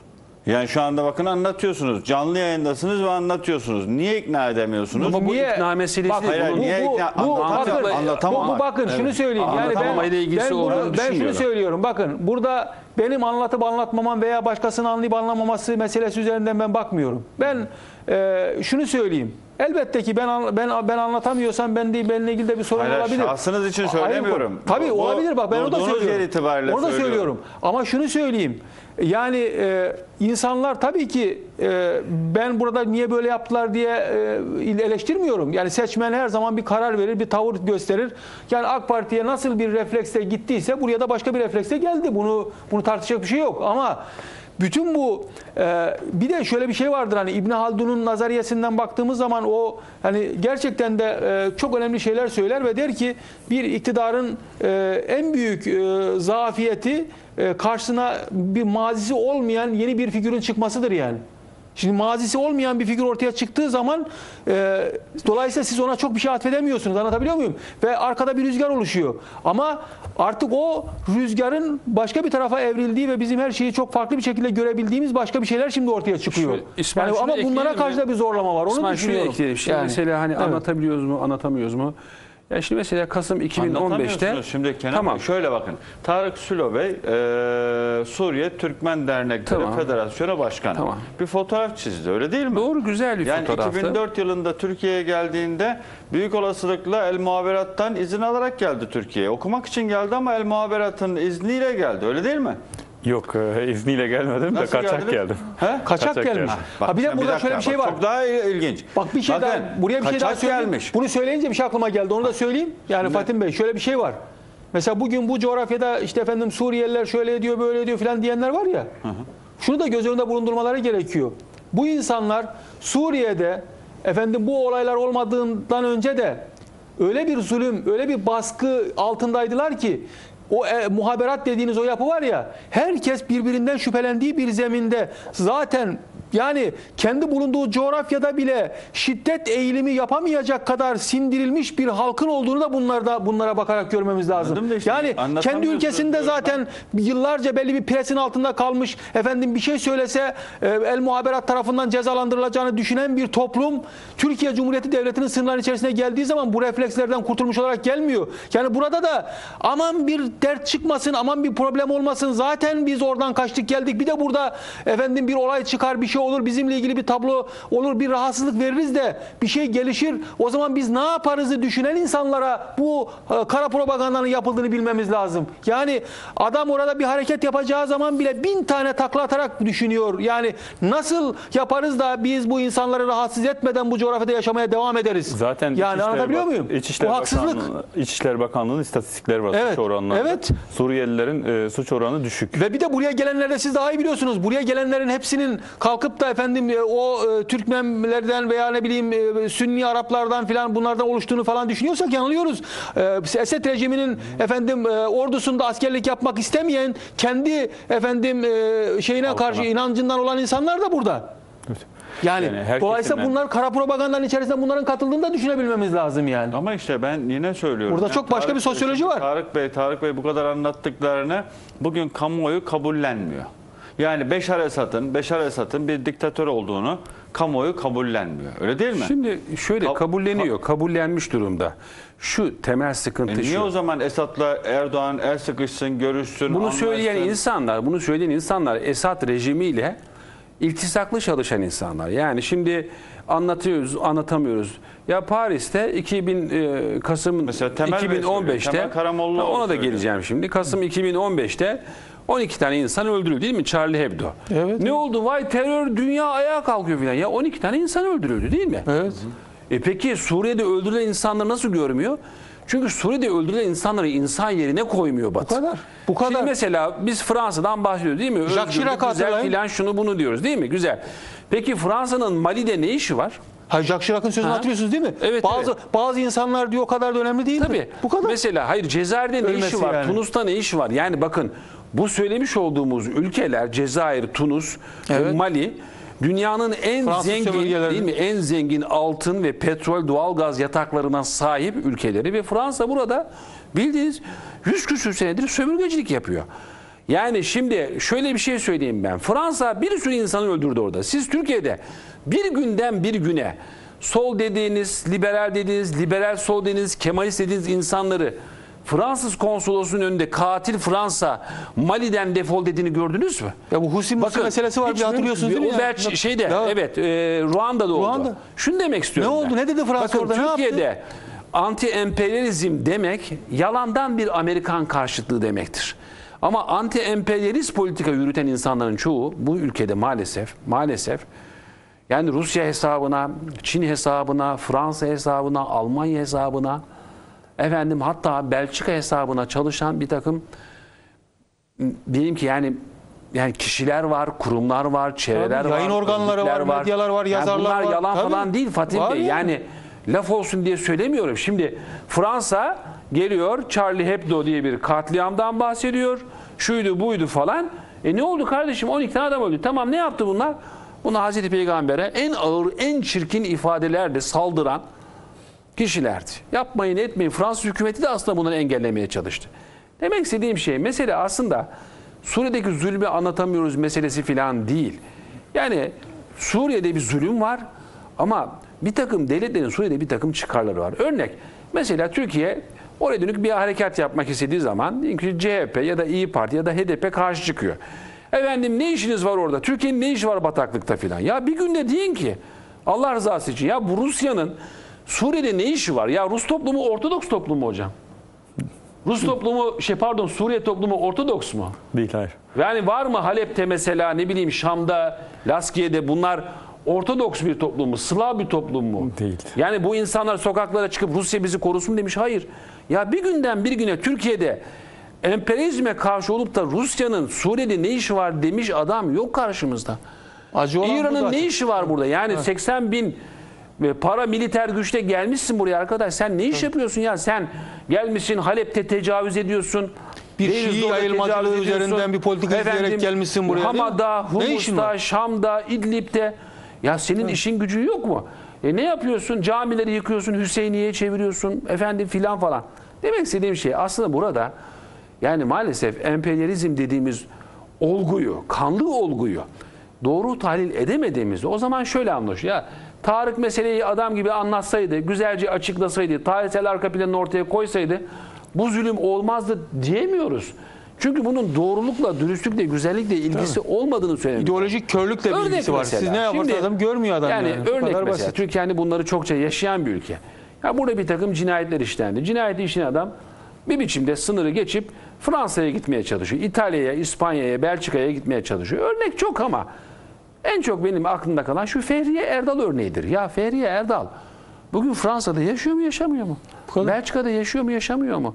Ve benzeri daha birçok isim. O zaman bu meseleleri biraz izah ederken Almanya'ya FETÖ'cüler evet, işte sadece ortada. şey diye düşünmemek lazım. Yani Türkiye hep mağdur oluyor, mazlum oluyor. Yani ben böyle bir propaganda falan yapacak değilim. Fakat Türkiye'nin yanı başındaki sorunu çözebilmesi için güçlü ve kuvvetli olması gerekiyor. Kesinlikle. Evet diplomasi diyoruz, doğrudur. Medya tanıtım diyoruz, evet doğrudur. Ama sahada askeri bir varlığınız olursa o askeri varlığa zaten eşlik edecek olan bir takım diyelim ki medya unsurları, akademi unsurları, diplomatik unsurlar, ekonomik unsurlar bulabiliyorsunuz. Ama sahada varlığınız yoksa o zaman Hard Amerika power, evet, Amerika işte o. geliyor Heh, sizi tabii. bir dolmuşa bindirmeye çalışıyor. Rusya geliyor bir dolmuşa bindirmeye çalışıyor ve siz buradan e, bir zeytin dalı ne bileyim bir Fırat kalkanı yapmaya kalktığınızda hemen burada birileri işte e, sen Esed'le niye masaya oturmuyorsun diyerek bir türkü çağırmaya Evet. başlayabilir. Tarık Bey, e, siz de toparlayın istiyorum ama e, yani ben e, bu Suriye'de Suriyelilerin ya da bugün e, mülteci olarak Türkiye başta olmak üzere bölge ülkelerine gidenlerin hakikaten Suriye'de yaşananları, yaşadıklarını anlatabildiklerini düşünüyor musunuz? Benim en önem verdiğim konu bu. Çünkü niye ben size dedim ki 2004'te büyük olasılıkla El Muhaberat'tan izin alarak Türkiye'ye gelmişsinizdir dedim. Siz almak yerine kaçmayı tercih etmişsiniz. Çünkü El Muhaberat'a gitseydiniz sizi İzin Türkiye'ye göndermeyecek. Vermeyecek. Bitti. Bu, bu bile bu bile aslında Suriye'de yaşananı anlatmak için yeter de artar bile. Ama bugün Türk kamuoyuna e, egemen olan unsur şu. Suriyeliler ekmeğimizi paylaşıyoruz ama ekonomimize zarar veriyorlar, güvenliğimize zarar veriyorlar ve gelmeye de devam ediyorlar ve devam edecekler ve biz bunlara bakmaya devam edeceğiz şeklinde bir algı mı yoksa hakikaten siz anlattınız bütün bunları ve şu anda e, gönül rahatlığıyla geziyor musunuz? E, maalesef hayır. Yani bir tek ben kendim için söylemiyorum bunu. Bütün muhalefet için söylüyorum. Ya da işte Suriye e, halkının yanında yer alan tüm devletler ya da tüm kurumlar olarak söylüyorum. E, biz kendimizi anlatamadık. E, yani gittiğimiz hiçbir yere anlatamadık. Yani e, işte dil bildiğimiz topluluklara da anlatamadık. Yani Arap dünyasında da anlatamadık. E, biz Türkmenler olarak Türkiye'ye geldiğimizde de e, Türkçe bildiğimiz olmamıza rağmen yine anlatamadık. E, yani anlatamamızın tabii ki birçok sebebi var. Yani hani birinci e, kusur bizden kaynaklanıyor. E, şimdi bir kere e, biz bir normal ülkeden bahsetmiyoruz. bahsettiğimiz ülke az önce de konuklarımızın da bahsettiği gibi bir e, junta e, rejiminden bahsediyoruz ve Suriye'nin neredeyse yüzde tarihinin hani kısa tarihinin yüzde 90 işte 8'ini e, yönetmiş bir juntadan bahsediyoruz. Muhaberattan bahsettik. E, insanların nefes alması bile mümkün olmayan bir rejimden bahsettik. Örgütlenme e, mümkün değildi. Yani insanların hani e, işte kahvehanede bile bir araya gelmesi e, mümkün olmayan bir ülkeden Belki de kardeşler bile birbirinden çekiniyordu değil mi? Acaba hangi kardeşim el, el muhaberata çalışıyor? Evet, yani insanlar yani- belki de evinde bile emin değildi yani. Kesinlikle ben mesela Ya bu kadar yani, bu- bu kadar benim, acı benim yani. ailemden yani e, hapis yatmış, e, yurt dışına kaçmış insanlar vardı. Biz onlarla yıllar boyu görüşemedik, konuşamadık. Çünkü niye? Siz sadece işte telefon etseniz ya da izini sorsanız e, hemen istihbarat örgütleri geliyordu ve e, sizi hemen sorguya çekiyordu. Yani hiçbir mahkeme kararına ihtiyaç duymadan sadece elindeki işte e, silahla gelip kafanıza dayanıyor ve alıyor gidiyor sizi. Yıllarca nereye gittiğinizi Haber bile alamıyoruz değil mi? Nerede olduğu belli değil. Tabii soramıyorsunuz. Ya da bazen belki de bir şantajla bir şeyle işte şunu ver geri al bunu Tabii falan yani gibi bir zaten şantaj. şimdi bizi Yani şeye el haraca muhaberatı- bağlamışlardı. El muharebe- muhaberatın şu anda Tarık Sülo'yu burada bile takip etmediğini bilmiyoruz. Ya takip ediyor zaten. Hayır bak, biz bu şey- kadar net. Halen bak o kadar ülkesinde yani, yaşananlara rağmen şimdi böyle- İstihbarat ülkesi. Hayır işte onu söylüyorum ama şimdi böyle Polis bir olguyu devleti. bu olguyu e, Suriyelilere en iyi anlaması gereken ülke Türkiye ve Türkiye kamuoyu algılayamıyor. Yani bir tek mesele aslında Türkiye ile alakalı değil. Yani hani bizim e, bahsetmiş olduğumuz ülkenin istihbarat ağı o kadar geniş ki ve ilişkileri o kadar derin ki Rusya ile tabii malum bu kadar darbeleri gerçekleştirirken ve bu kadar iktidarda kalırken tek kendi e, şeyiyle kalmadı. Yani gücüyle kalmadı. Rusya'dan aldığı destekle Rusya'nın da istihbaratı az İran'la, değildir yani. e, aldığı destekle alıyor ve bunlar çok tarihi destekler. Dünyanın her Yani yerinde hani operasyon kabiliyeti olan bir istihbarattan bahsediyor. 1980'de başlamış olsa da ama Rusya ile Suriye'nin ilişkisi neredeyse 1950'li yıllara dayanır. Yani bazı darbeyi gerçekleştirirken Rusya'nın KGB'nin desteğiyle gerçekleştiriyor. Dolayısıyla yani birçok operasyonu onların e, yani talimatıyla ve onların desteğiyle yapıyor. Türkiye'deki ilişkileri de çok derin. Yani bugün e, Türkiye'deki kaynaklanan sadece meselelerden değil yani onların da güçlü olmasından kaynaklanıyor. Birçok medya grubuna hakimler, birçok toplumsal örgütlere hakimler, ilişkili oldukları bir sürü kurum var, onlara hakimler. E, diğer bir yandan bakıyorsunuz yani Suriye halkı yani bir medyası yok. Herkes e, yani birkaç gazete var bu bunları devlet çıkartıyor. E, birkaç televizyon var. Yani e, birkaç dedim de yani bir buçuk iki televizyon bile çıkmaz. Yani birisi yarım e, gün yayın yapıyor, diğerisi tam gün yapıyor ve bunun haricinde başka bir televizyon yoktu. Dergi dediğimiz zaten yoktu. Zaten sosyal medya dediğimiz şey onlar bütün sonradan geldi ve kapalıydı bunlar. Yani insanların kendini ifade edeceği hiçbir imkan yoktu. Ve bu halk 2011'de o e, zincirleri kırdı ve sadece işte göğsünü gererekten tanklara karşı durmayı yani en iyi becerebildi ve maalesef onun da bedelini çok ağır ödedi. Yani buraya geldiğinizde yani dediğim gibi yani bu e, modern anlamdaki ifade e, mekanizmalar olsun ya da aygıtların hiçbirisini bilmiyordu.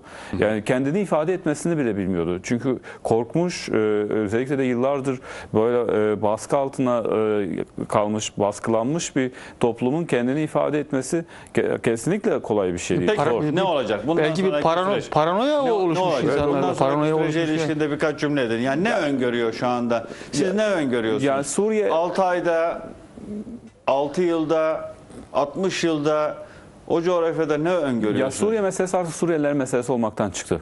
Yani bölge meselesi ülkelerini de artık aşıyor. Yani Amerika ve Rusya girmiş askeri olarak orada bulunuyor ve iki zıt güç, küresel güç orada karşı karşıya gelmiş ve birçok meselesini Suriye üzerinden çözmeye paylaşıyor işte çalışıyor. tabii. Ve dolayısıyla bu iki gücün bölgeye girmesi artık burada bir çözümsüzlüğün bence e, artık yani geniş bir şekilde aralandığını görüyoruz. Zaten ben kendim şunu söylüyorum. Yani Suriye meselesini bu noktaya getirenler bugün çözüm e, olarak gördüğümüz gruplar yani Rusya ve Amerika. Zaten bunların ikisi Suriye'yi bu hale getirmek istemesi değil miydi esas yani buradaki ne olacağı e, sorusuna cevap. Yani bu iki ülke buradan çıksa yani Suriyeliler kendi meselesini ve bölgesel e, güçlerin yani devletlerin desteğiyle kısa bir sürede çözebilir. Ama sürekli Esad'a vur, al şunu patlat diye Rusya destek verirken ve Birleşmiş Milletler'de de sürekli veto yetkisiyle de Esad'ı korurken diğer bir yandan da Amerika muhalefete destek verilmesini engelledi. Yani biz bir yandan da onu da kaçırıyoruz. Yani muhalefet yani e, savaş yürütüyor, askeri bir savaş yürütüyor ve e, sahadaki güçlerin orantılı hale gelmesini istiyor. Ama bir türlü o izni vermediler. Yani tepenizde sizin e, Rus uçakları, MiG'ler uçarken, Sohoylar uçarken altta e, Kalaşnikov'la karşılık vermeye çalışıyorsunuz. Yani bu da bir, çok büyük bir dengesizlik var. Ve siz bu insanları öldürmeye ve bu bölgeyi sürekli tahrip etmeye yol açıyorsunuz ve burada bütün amaç aslında nereye dönüyor biliyor musunuz? İsrail'e hizmet ediyor.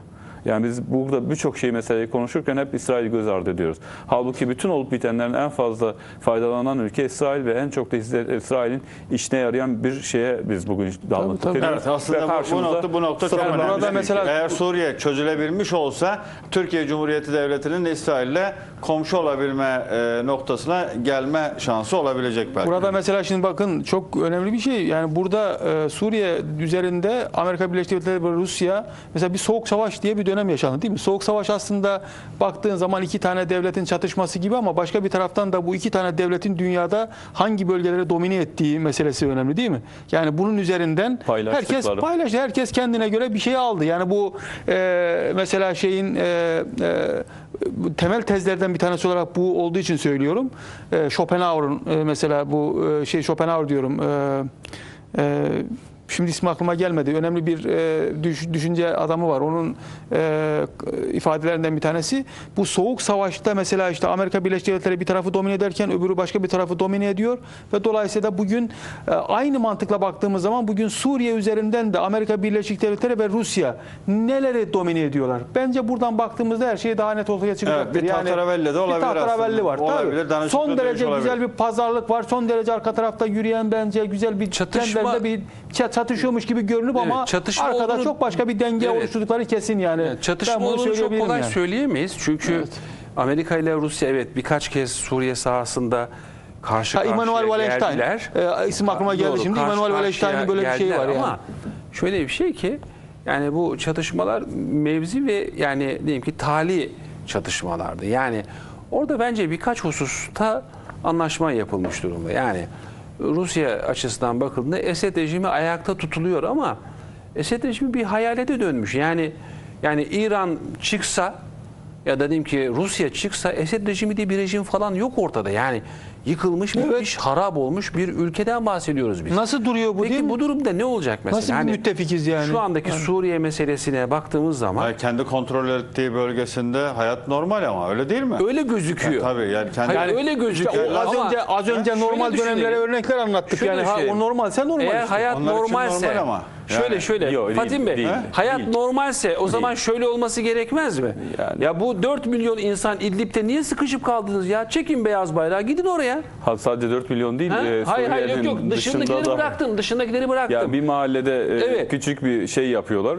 E, yani sadece dünyaya göstermelik birkaç fotoğraf çekip bak bu kadar eğlence, festivaller falan var ama Tabii, savaşa rağmen arka tarafta dir diskolarda hayat devam ediyor filan. Dolayısıyla Çoluk çocuklar sokakta şöyle aç, susuz yani e, yani insanlığın hakikaten içine almayacağı görüntüler ve sahneler yaşanıyor. Yani onu da yani görmek isteyen tabii görüyordu ama birileri de hani bahsetmiştiniz ya bir kesim var ki dünyada ve Türkiye'de sürekli orayı e, güzelleştirmeye ve orayı iyileştirmeye yönelik e, çabaları var, emek e, gayretleri var. Halbuki Suriye'nin yani o gösterilen görüntünün yüzde biri e, gösterilirken yüzde 99'u yani insanlığın içi almıyor. Mesela biz bazen değil mi Kuzey Yok, Kuzey Kuzey Kore'den de Tabii, bazen aynen. fotoğraf yansıyor. Deriz ki ulan burası dünyanın cenneti herhalde yani. Herkes burada yaşaması lazım ama işte öyle böyle acaba? Sovyetik propagandaları bir kenara bıraktığımızda herhalde karşımıza şöyle bir şey çıkıyor. Yani İsrail hakikaten bölgedeki gücünü tahkim ediyor. E, Bölgedeki gücünü tahkim ederken yani bir Irak'ın içine düşmüş olduğu durumu düşünelim. Bir Suriye'nin içine sürüklendiği durumu düşünelim. E, Bir taraftan da hani bir İran işte ortada geziniyor işte böyle bir işte kabadayılık yapıyor işte İran efendim şunu yapar, efendim İsrail'i yok eder, bir saat sonra Amerikan ordusunu perişan eder filan diyoruz ama aslında baktığımız zaman İran'ın bu iki ülkeyle karşı karşıya gelmemek için de bir özen gösterdiğini çok net bir biçimde görebiliyoruz. İran askerlerini ancak Irak'ta katliam yaparken görüyoruz. İran askerlerini Afganistan'da katliam yaparken görüyoruz. İran askerlerini Suriye'de katliam yaparken görüyoruz ama yani İsrail'le karşı karşıya gelmeden biz herhangi bir biçimde bahsedemiyoruz yani çünkü böyle bir durum yok. Fakat bir şey var ki yani Suriye meselesi üzerinden gerçekten yani bugün Orta Doğu demiş olduğumuz bölge ciddi anlamıyla kendi içinde sürekli çatıştırılan, kendi içinde sürekli yıpratılan, kendi içinde sürekli içeriden çökertilen bir bölgeye dönmüş durumda. Bunun önü nasıl alınacak? Esas mesele bugün budur diye Zaten mesela benim en çok e, belki de yani İran'ın veya işte e, Rusya'nın, Amerika'nın belki de cevabını en fazla vermesi gereken şeylerden bir tanesi de şu bana göre. Yani madem siz bu kadar efendim e, İran'la bu kadar probleminiz var. Madem İran sizin için bu kadar kötü falan da ya Suriye'de bu kadar İran e, askeri, Askeri var, var. mücadele ediyor. Nasıl oluyor bu? Yani bunu bunu bu bu ilişkiyi bir anlatın da biz de anlayalım. Bu nasıl 85 bin oluyor? asker var ya. Bu nasıl oluyor bu şimdi? 85 Yani bin ben niye asker var. Yani ben niye oraya bir harekat bu. ki çok doğal olarak kendi sınırlarımı korumak, uluslararası haklardan doğan bütün emellerimi gerçekleştirme adına bir hareket ortaya koyduğumda İsmail- benim önüme bu kadar problem çıkarırken Şöyle. nasıl oluyor da 80 İsmail bin bir, İran bir askeri virgül o, bak. o, coğrafyada bir virgül bak sen tamamla sonra bak bir virgül. iş yapıyor. Türkiye'nin Irak'ta mesela Yani. Başika diye bir askeri Evet. üssü var. Küçük bir askeri üs. Burada toplamda 8-10 tane tank var. Birkaç tane zırhlı araç var. Toplamda 100 civarında 150 civarında asker var. Bakın kıyameti koparttılar. Evet. Efendim Türkiye'de Evet, oradan evet, çekilsin tabii. diye. Ya da mesela Fırat Kalkanı dediğimiz bölge Suriye topraklarının kaçına tekabül ediyor Tarık Hocam? Yani, yani çok az bir, Yüzde yani, birine de tekabül ediyor mu? yani yani herhalde öyle bir şey ben tam Etmiyordur yok yani. yani çok küçük bir bölge. yani. Yüzde birine bile tekabül etmiyor Fırat Kalkanı. Hadi Yani- içine bir de şeyi de koyun, zeytin dalını 26 koyun. Toplam olsun olsun yüzde bine tekabül ediyor. Yüzde Bakın beş burada onlara. korkunç bir baskı var Türkiye'ye karşı. Türkiye mesela Amerika'nın batının müttefiki olmasına rağmen Türkiye'nin oradan çıkması isteniyor. Ama NATO güya Amerika İran'la çatışıyor olduğu halde herhangi bir neler biçimde söyleniyor? Tabii. İran askerinin oradan çıkmasına yönelik bir çağrıyı Ben hiç duymadım. Kalsın. Yapmıyor. E şimdi yine bir reklam arası verelim. Eğer isterseniz bu konuyla ilgili biraz daha devam edebiliriz. Aslında ben Bülent Arınç'ı, Ahmet Davutoğlu'nu, Ali Babacan'ı da birazcık konuşalım istiyordum ama tabii şu da bir gerçek. Türkiye 2011'de e, yaşanan ya da başlayan bu iç savaşın buralara kadar gelebileceğini öngörmedi mi? Bu da aslında e, ilginç e, şeylerden birisi ki bunun faturası da ağırlıklı olarak Ahmet Davutoğlu'na çıkartılıyor. Bütün bunları konuşalım da istiyorum aslında. Kısa bir ara verelim. Değil mi? Ee, İsmail Bey. edersen. He? Bu problemim açma Tabii problemi bir reklam arası verelim. Kısa bir reklam arası ardından başka açıdan kaldığı yerden devam etsin.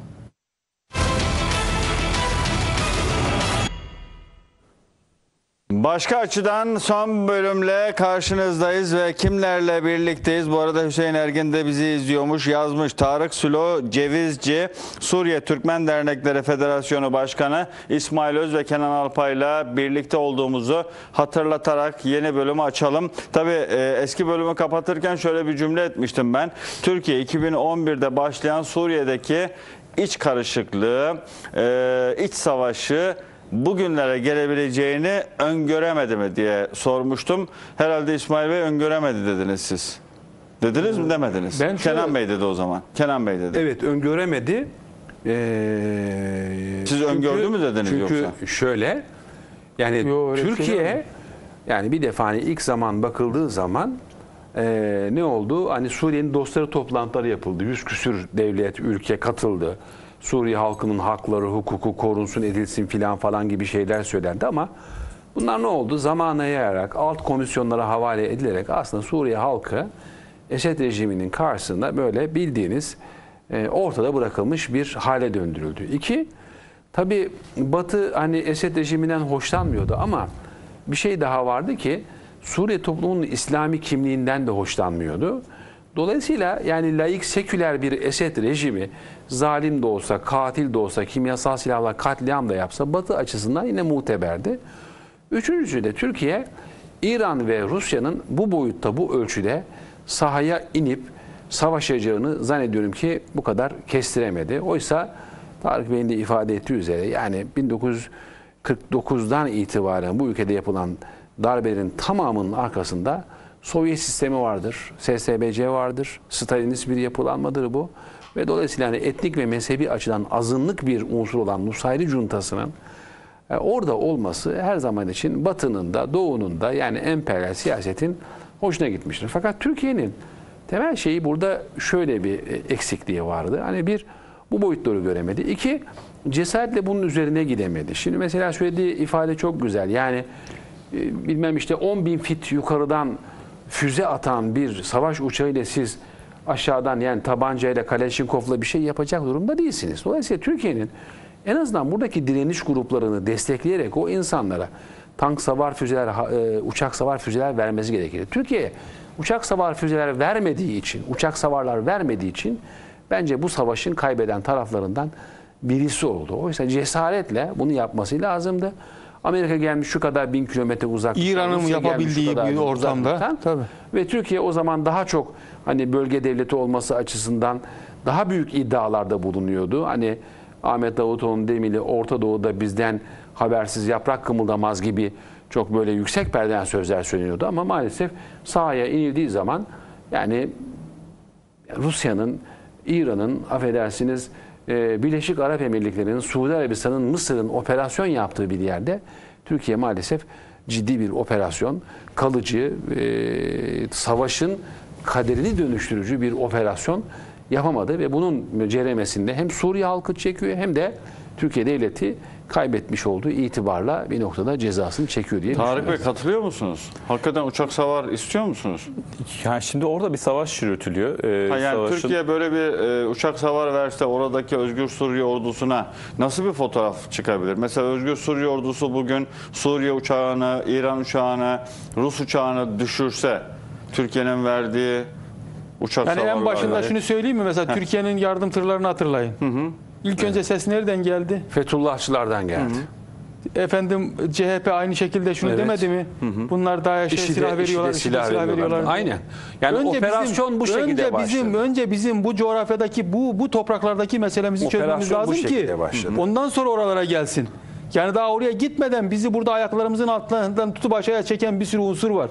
Önce bunu bizim bir başarmamız Hatırlayalım gerekiyor. aynı Anlatabiliyor muyum? zamanda yani, Dışişleri Bakanı o olduğu MİT'tirler dönemde operasyonu filan. Ahmet Davutoğlu'nun, Hulusi Akar'ın efendim e, ve bir takım askeri yetilerin katılmış olduğu toplantının ses kayıtları Evet.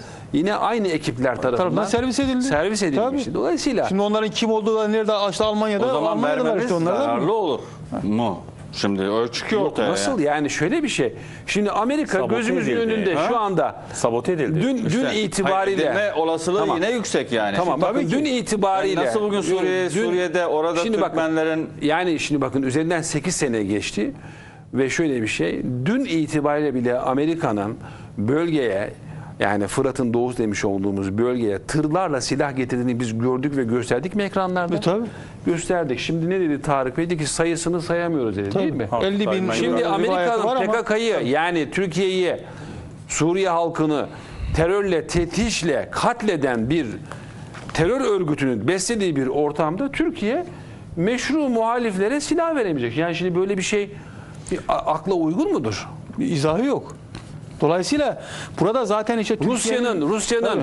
Suriye halkını katlettiği bir ortamda Türkiye Suriye halkına bunları veremeyecek. Yani bu bu düzeni bir de- düşünmek ve tartışmak lazım diye düşünüyorum. Yani savaşın ve oradaki açıkçası gidişatın dengelenmesi açısından bir kere e, güçlerin e, Eşitlenmesi oranlanması, lazım. Tabii, tabii. eşitlenmesi gerekiyor. Aynı Bosna Savaşı'nda olduğu Evet. gibi. Yani orantısız savaş deniyor işte. Orantısızlık var. O orantısızlığın bir defa bir dengelenmesi gerekiyor ki orada zaten şöyle bir şey vardır ya hani ya bunlar çok temel e, siyasetin, uluslararası ilişkilerin çok temel şeylerinden e, bir tanesi de bu. Mesela ben bunu daha önce de söyledim tabii bu büyük politikalar için söylediğiniz şeyi aslında mikro politikalara da dönüştürebilirsiniz. Dolayısıyla hani e, bu e, şey Ağustos eşiği diye bir şey var yani bu güçlerin dengelenmesi meselesi. Güçler dengelendiğinde kavga biter kardeşim. Güçlerin dengesi bozulduğunda çatışmalar artar. Bu kadar basit. Şimdi o bölgede sizin bir defa bir denge, bir terazi, bir tartı ortaya koyduğunuzda oradaki o güçleri bir dengelemeniz lazım ki çatışma dursun. Çatışmayı durduracak bir denge yok. Kim denge olacak burada? Yani denge gibi gördüğünüz her şey denge bozucu aslında. Yani e, en azından bir defa Birleşmiş Milletler'in yapısına baktığınızda dengenin nasıl bozulduğu belli. Ama şu Şimdi olabilir mi? bu- Beş, bu- Beşar, Beşar Asad e, üzerinde hani- uzlaşma sağlanıp Suriye'nin toprak bütünlüğünün korunması e, noktasında hareket edilip bir geçiş sürecinin ardından tekrardan Ya şimdi şöyle bir tablo mi? var. Ee, Fatih Bey bakın Ha. mesela hani çok temel bir hikaye vardır ya diyor ki sizde bu evlat acısı bizde bu kuyruk acısı varken biz dost olamayız yani. Şimdi Esad'ın ortada durduğu bir yerde o coğrafyada siz bir dostluk yeniden bir kardeşlik coğrafyası inşa edemezsiniz. Edemez Yani mi? Biz soralım. bence. Edelim. Bence soralım edilemez. Tarık Bey'e. Yani ne düşünüyor? Yani çünkü e, Türkiye'nin en azından kendi sınırlarını koruyabilmesi birazcık e, Suriye'nin toprak bütünlüğünün sağlanmasıyla da doğru orantılı. Eğer Suriye toprak bütünlüğü sağlanamaz ve parçalı yapılara e, evrilirse bu hiç kuşkusuz Türkiye'ye de bir yansıması olur diye bir beklenti var. Yani sadece Türkiye'ye değil aslında bütün e, İslam coğrafyasına, Orta Doğu'ya yani bu bir ölçüde belki Ürdün'e, Irak'a, Türkiye'ye hatta belki Batı, İran'ı bile gözüne kestirmiş olabilir bu bağlamda. E, o yüzden de toprak bütünlüğü nasıl sağlanabilir? E, Suriye'nin Esad'ın kalmasıyla Esad üzerinde Suriye, Türkiye, İran ve Moskova'nın bir uzlaşıya varması halinde Esad en azından belirli bir süre ee, orada yine iktidarını koruyup ama bir demokratik yollarla seçime gidecek bir evreye taşırsa olabilir mi? Çünkü bazıları bunu da söylüyor. Yani evet yani Suriye meselesinde e, önerilen çözümlerden birisi de bu. Yani e, böyle bir geçiş süreci ve ondan sonra e, devretmesi e, noktasında evet bir çözüm önerisi var. Ama e, yani açıkçası bu e, yani geride bırakılan e, işte 9 yıla baktığımız zaman da ne kadar zor olduğunu da bir yandan e, gösteriyor. E, mümkün olabilir mi? Çünkü e, yaklaşık bir milyona yakın insan öldü. Mil- Milyonlarca insan yaralandı ve birçok yani e, acı var yani e, adını e, anmak istemedim. Bunları nasıl unutturacaksınız bu halka bilmiyoruz. Yani hakikaten çok büyük bir derin e, yara açıldı ve bu yaranın e, tekrar kolay kolay kapanması kısa bir süre içerisinde mümkün olacağını görmüyoruz. Yani şimdi Esad sadece hani Türkiye açısından e, istenmeyen adam değil. Yani diğer bir yandan baktığımız zaman işte e, Amerika orada. E, Amerika bu söylediğiniz çözümün neresinde? E, aslında uzağında. Çok fazla e, Amerika buraya yanaşmıyor. Amerikan istediği şey nedir? Orada e, yani e, Suriye bölünmüş, parçalanmış. En azından coğrafya harita üzerinde bütünlük gösterse de ama içinde bölünmüş bir bir yapı istiyor ve orada YPG'yi desteklemesi ve meşruiyet kazandırmasındaki yatan temel sebep de oradaki kendi askeri varlığını devam ettirmek noktasında ve oradaki yapılara yani sürekli askeri mühimmat taşıması ve sivil yönetimde destek vermesi aslında kafasındaki kurguladığı şey Suriye'nin bölünmesi. Yani burada nasıl bir Suriye beklenir? Yani ben hani eski üniter bir Suriye'nin ötesinde artık e, belki federatif bir Suriye karşımıza çıkabilir. Hani bugünkü sınırları korumuş ama içinde idari olarak bölünmüş bir Suriye belki ileriki zamanda gündeme gelebilir. Yani şu an Esad dediğimiz, Rusya dediğimiz, İran dediğimiz Fırat'ın doğusuna yine bir adım atamıyor. E, bundan önce de denemeleri oldu. E, Amerika çok e, ağır bir şekilde onları cezalandırdı ve şu an e, tek operasyon yapabildikleri yer İdlib bölgesi. Hani e, oradaki yapı sadece Türkiye'nin mi sorunu? Aslında onların da sorunu ama oraya dikkat ederseniz bir kelime bile edemiyorlar. Cesaret bile edemiyorlar aşmaya. Çünkü orada Amerika var. Amerika'nın kurmuş olduğu başka bir yapı var. Dolayısıyla hani bizim bahsetmiş olduğumuz Esad'lı çözüm yani Suriye'nin yine tamamını kapsayacak bir çözüm değil. Yani hadi mesela olan bitenleri bir kenara bıraktık. Hadi Esad'la anlaşalım, konuşalım ve bir e, noktaya gelelim desek bile e, Fırat'ın doğusunu ne yapacağız? E, Yani Münbit'i orada bir yapacağız? Kuzey Irak gibi bir bölgesel yönetim oluşturacaklar Oluşmuş öyle ya da. zaten. Yani şu an Suriye'nin e, dört tane hükümeti var. E, yani düşünebiliyor musunuz? Yani üçe bölünmüş ve aynı bir bölgede de iki tane hükümetin olduğu bir Suriye'den bahsediyoruz. Yani fiili olarak Suriye karşımızda bölünmüş E, ve bunların bir araya gelele- gelememesi için de o kadar sorun üretilmiş ki yani e, hangi birisini çözemeye kalksanız sizin yıllarınızı alacak ve çok büyük bir e, yani gayretinizi alacak bir şey. Yani çok sıkıntılı bir mesele. Yani bugün bu öneri e, bence tam bir çözüm değil. Bugün olan bitenleri bıraksak bile dediğim gibi Suriye'nin eski üniter yapısını, sınırlarını koruyamıyoruz. E, Amerika ile işin e, farklı bir boyutu var. Rusya ile farklı bir boyutu var. Şu an Türkiye her iki ülkeyle iyi ilişkiler geliştirerekten Suriye'de bir çözüm e, üretmeye çalışıyor. İşte Fırat'ın doğusunda güvenli bölge, Amerika ile İdlib'de de çatışmasızlık bölgesi oluşturaraktan e, sükuneti sağlamaya çalışıyor. Ama dikkat ederseniz her yerden ayrı tekrardan sorunlar yaratılarak yani hiç aslı asları olmayan sorunlar yarataraktan tekrar Suriye'yi ve Suriye'deki halkı birbirine kırdırmaya çalışıyorlar.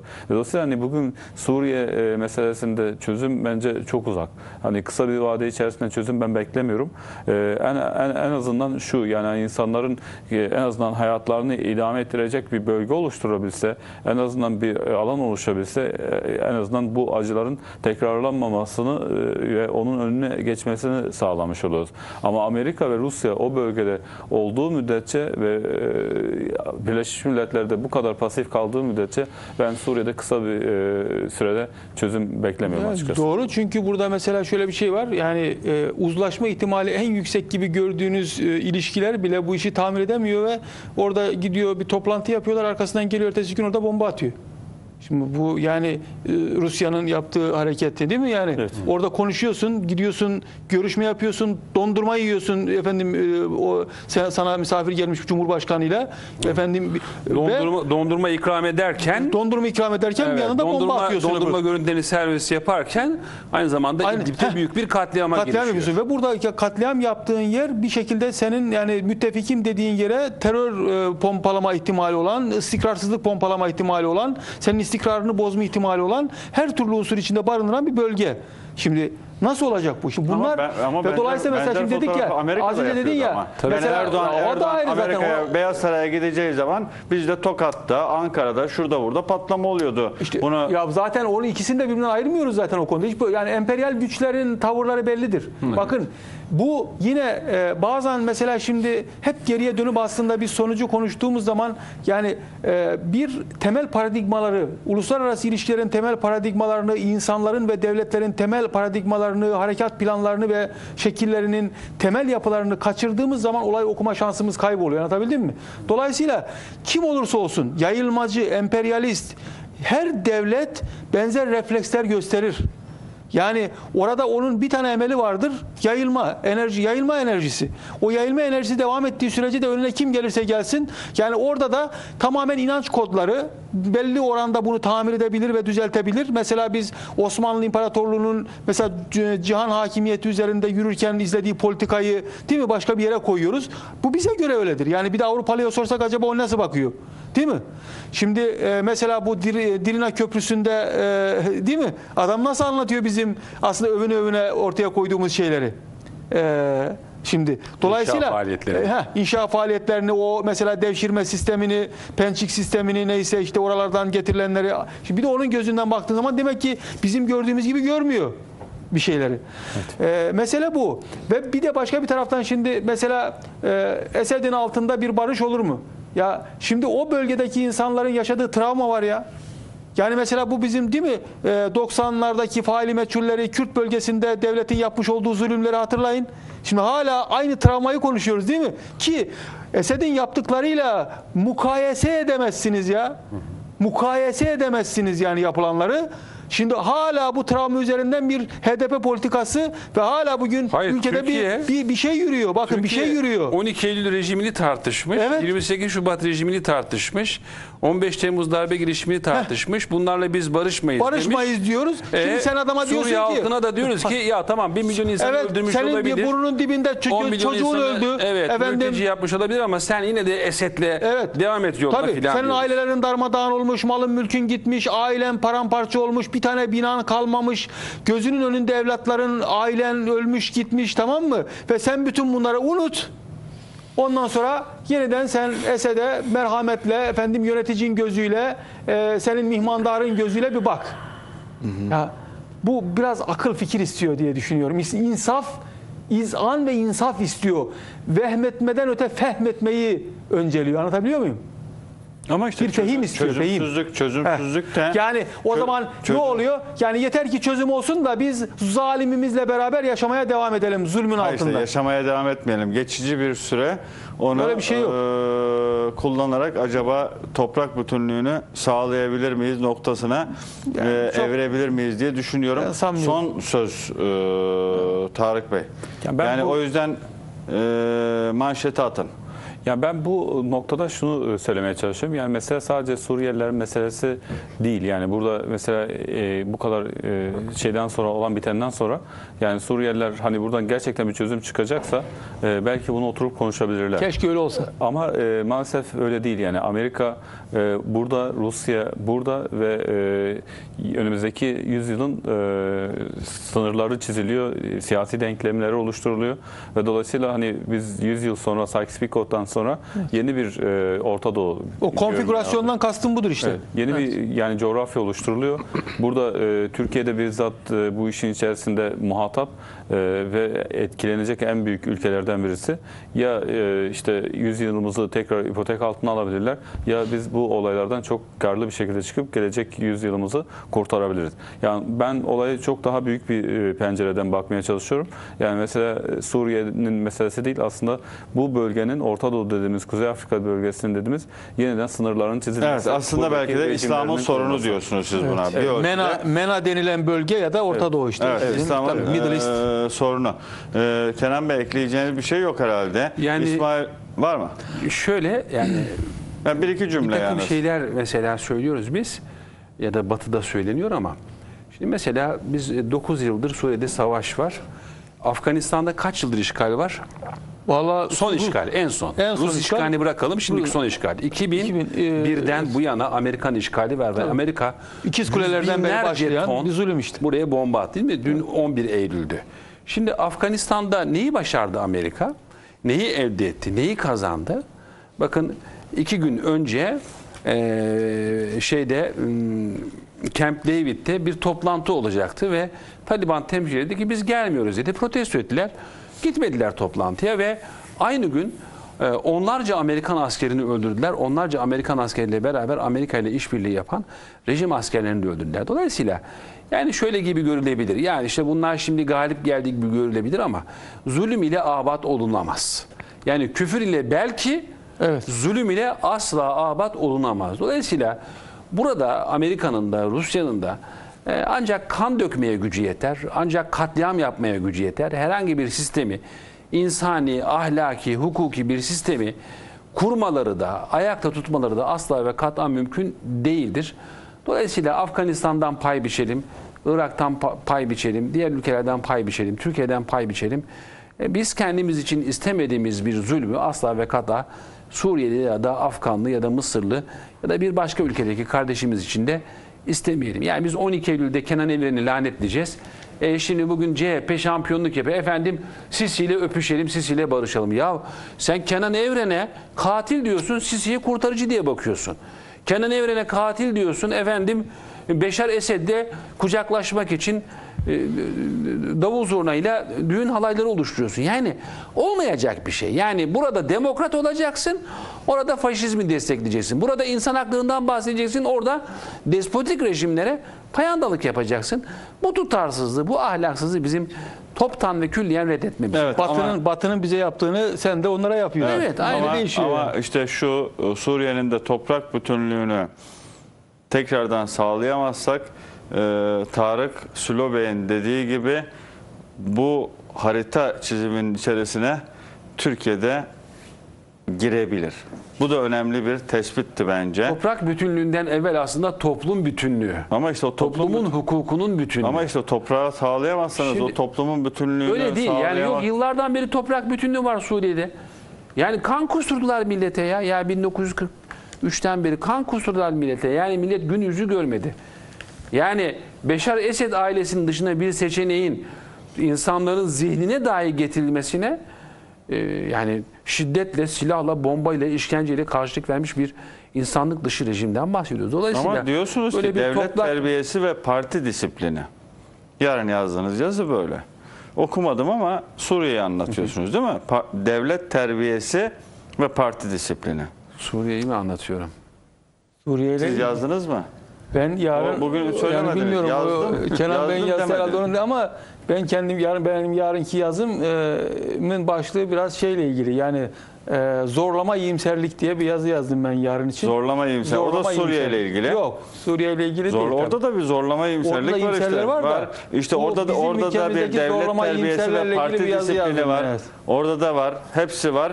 Evet. Ee, çok teşekkür ediyorum ee, herkese. Kenan Alpay'ın yazısı devlet terbiyesi ve parti disipliniydi. Artık bugünkü gazetede diyebilirim. Ali İhsan Bey ise Erdoğan da Erbakan'a ihanet mi etmişti diye bir yazı kalem almış bugünkü gazetede ve artık tarih 13 Eylül. Değil mi? Cuma. Evet.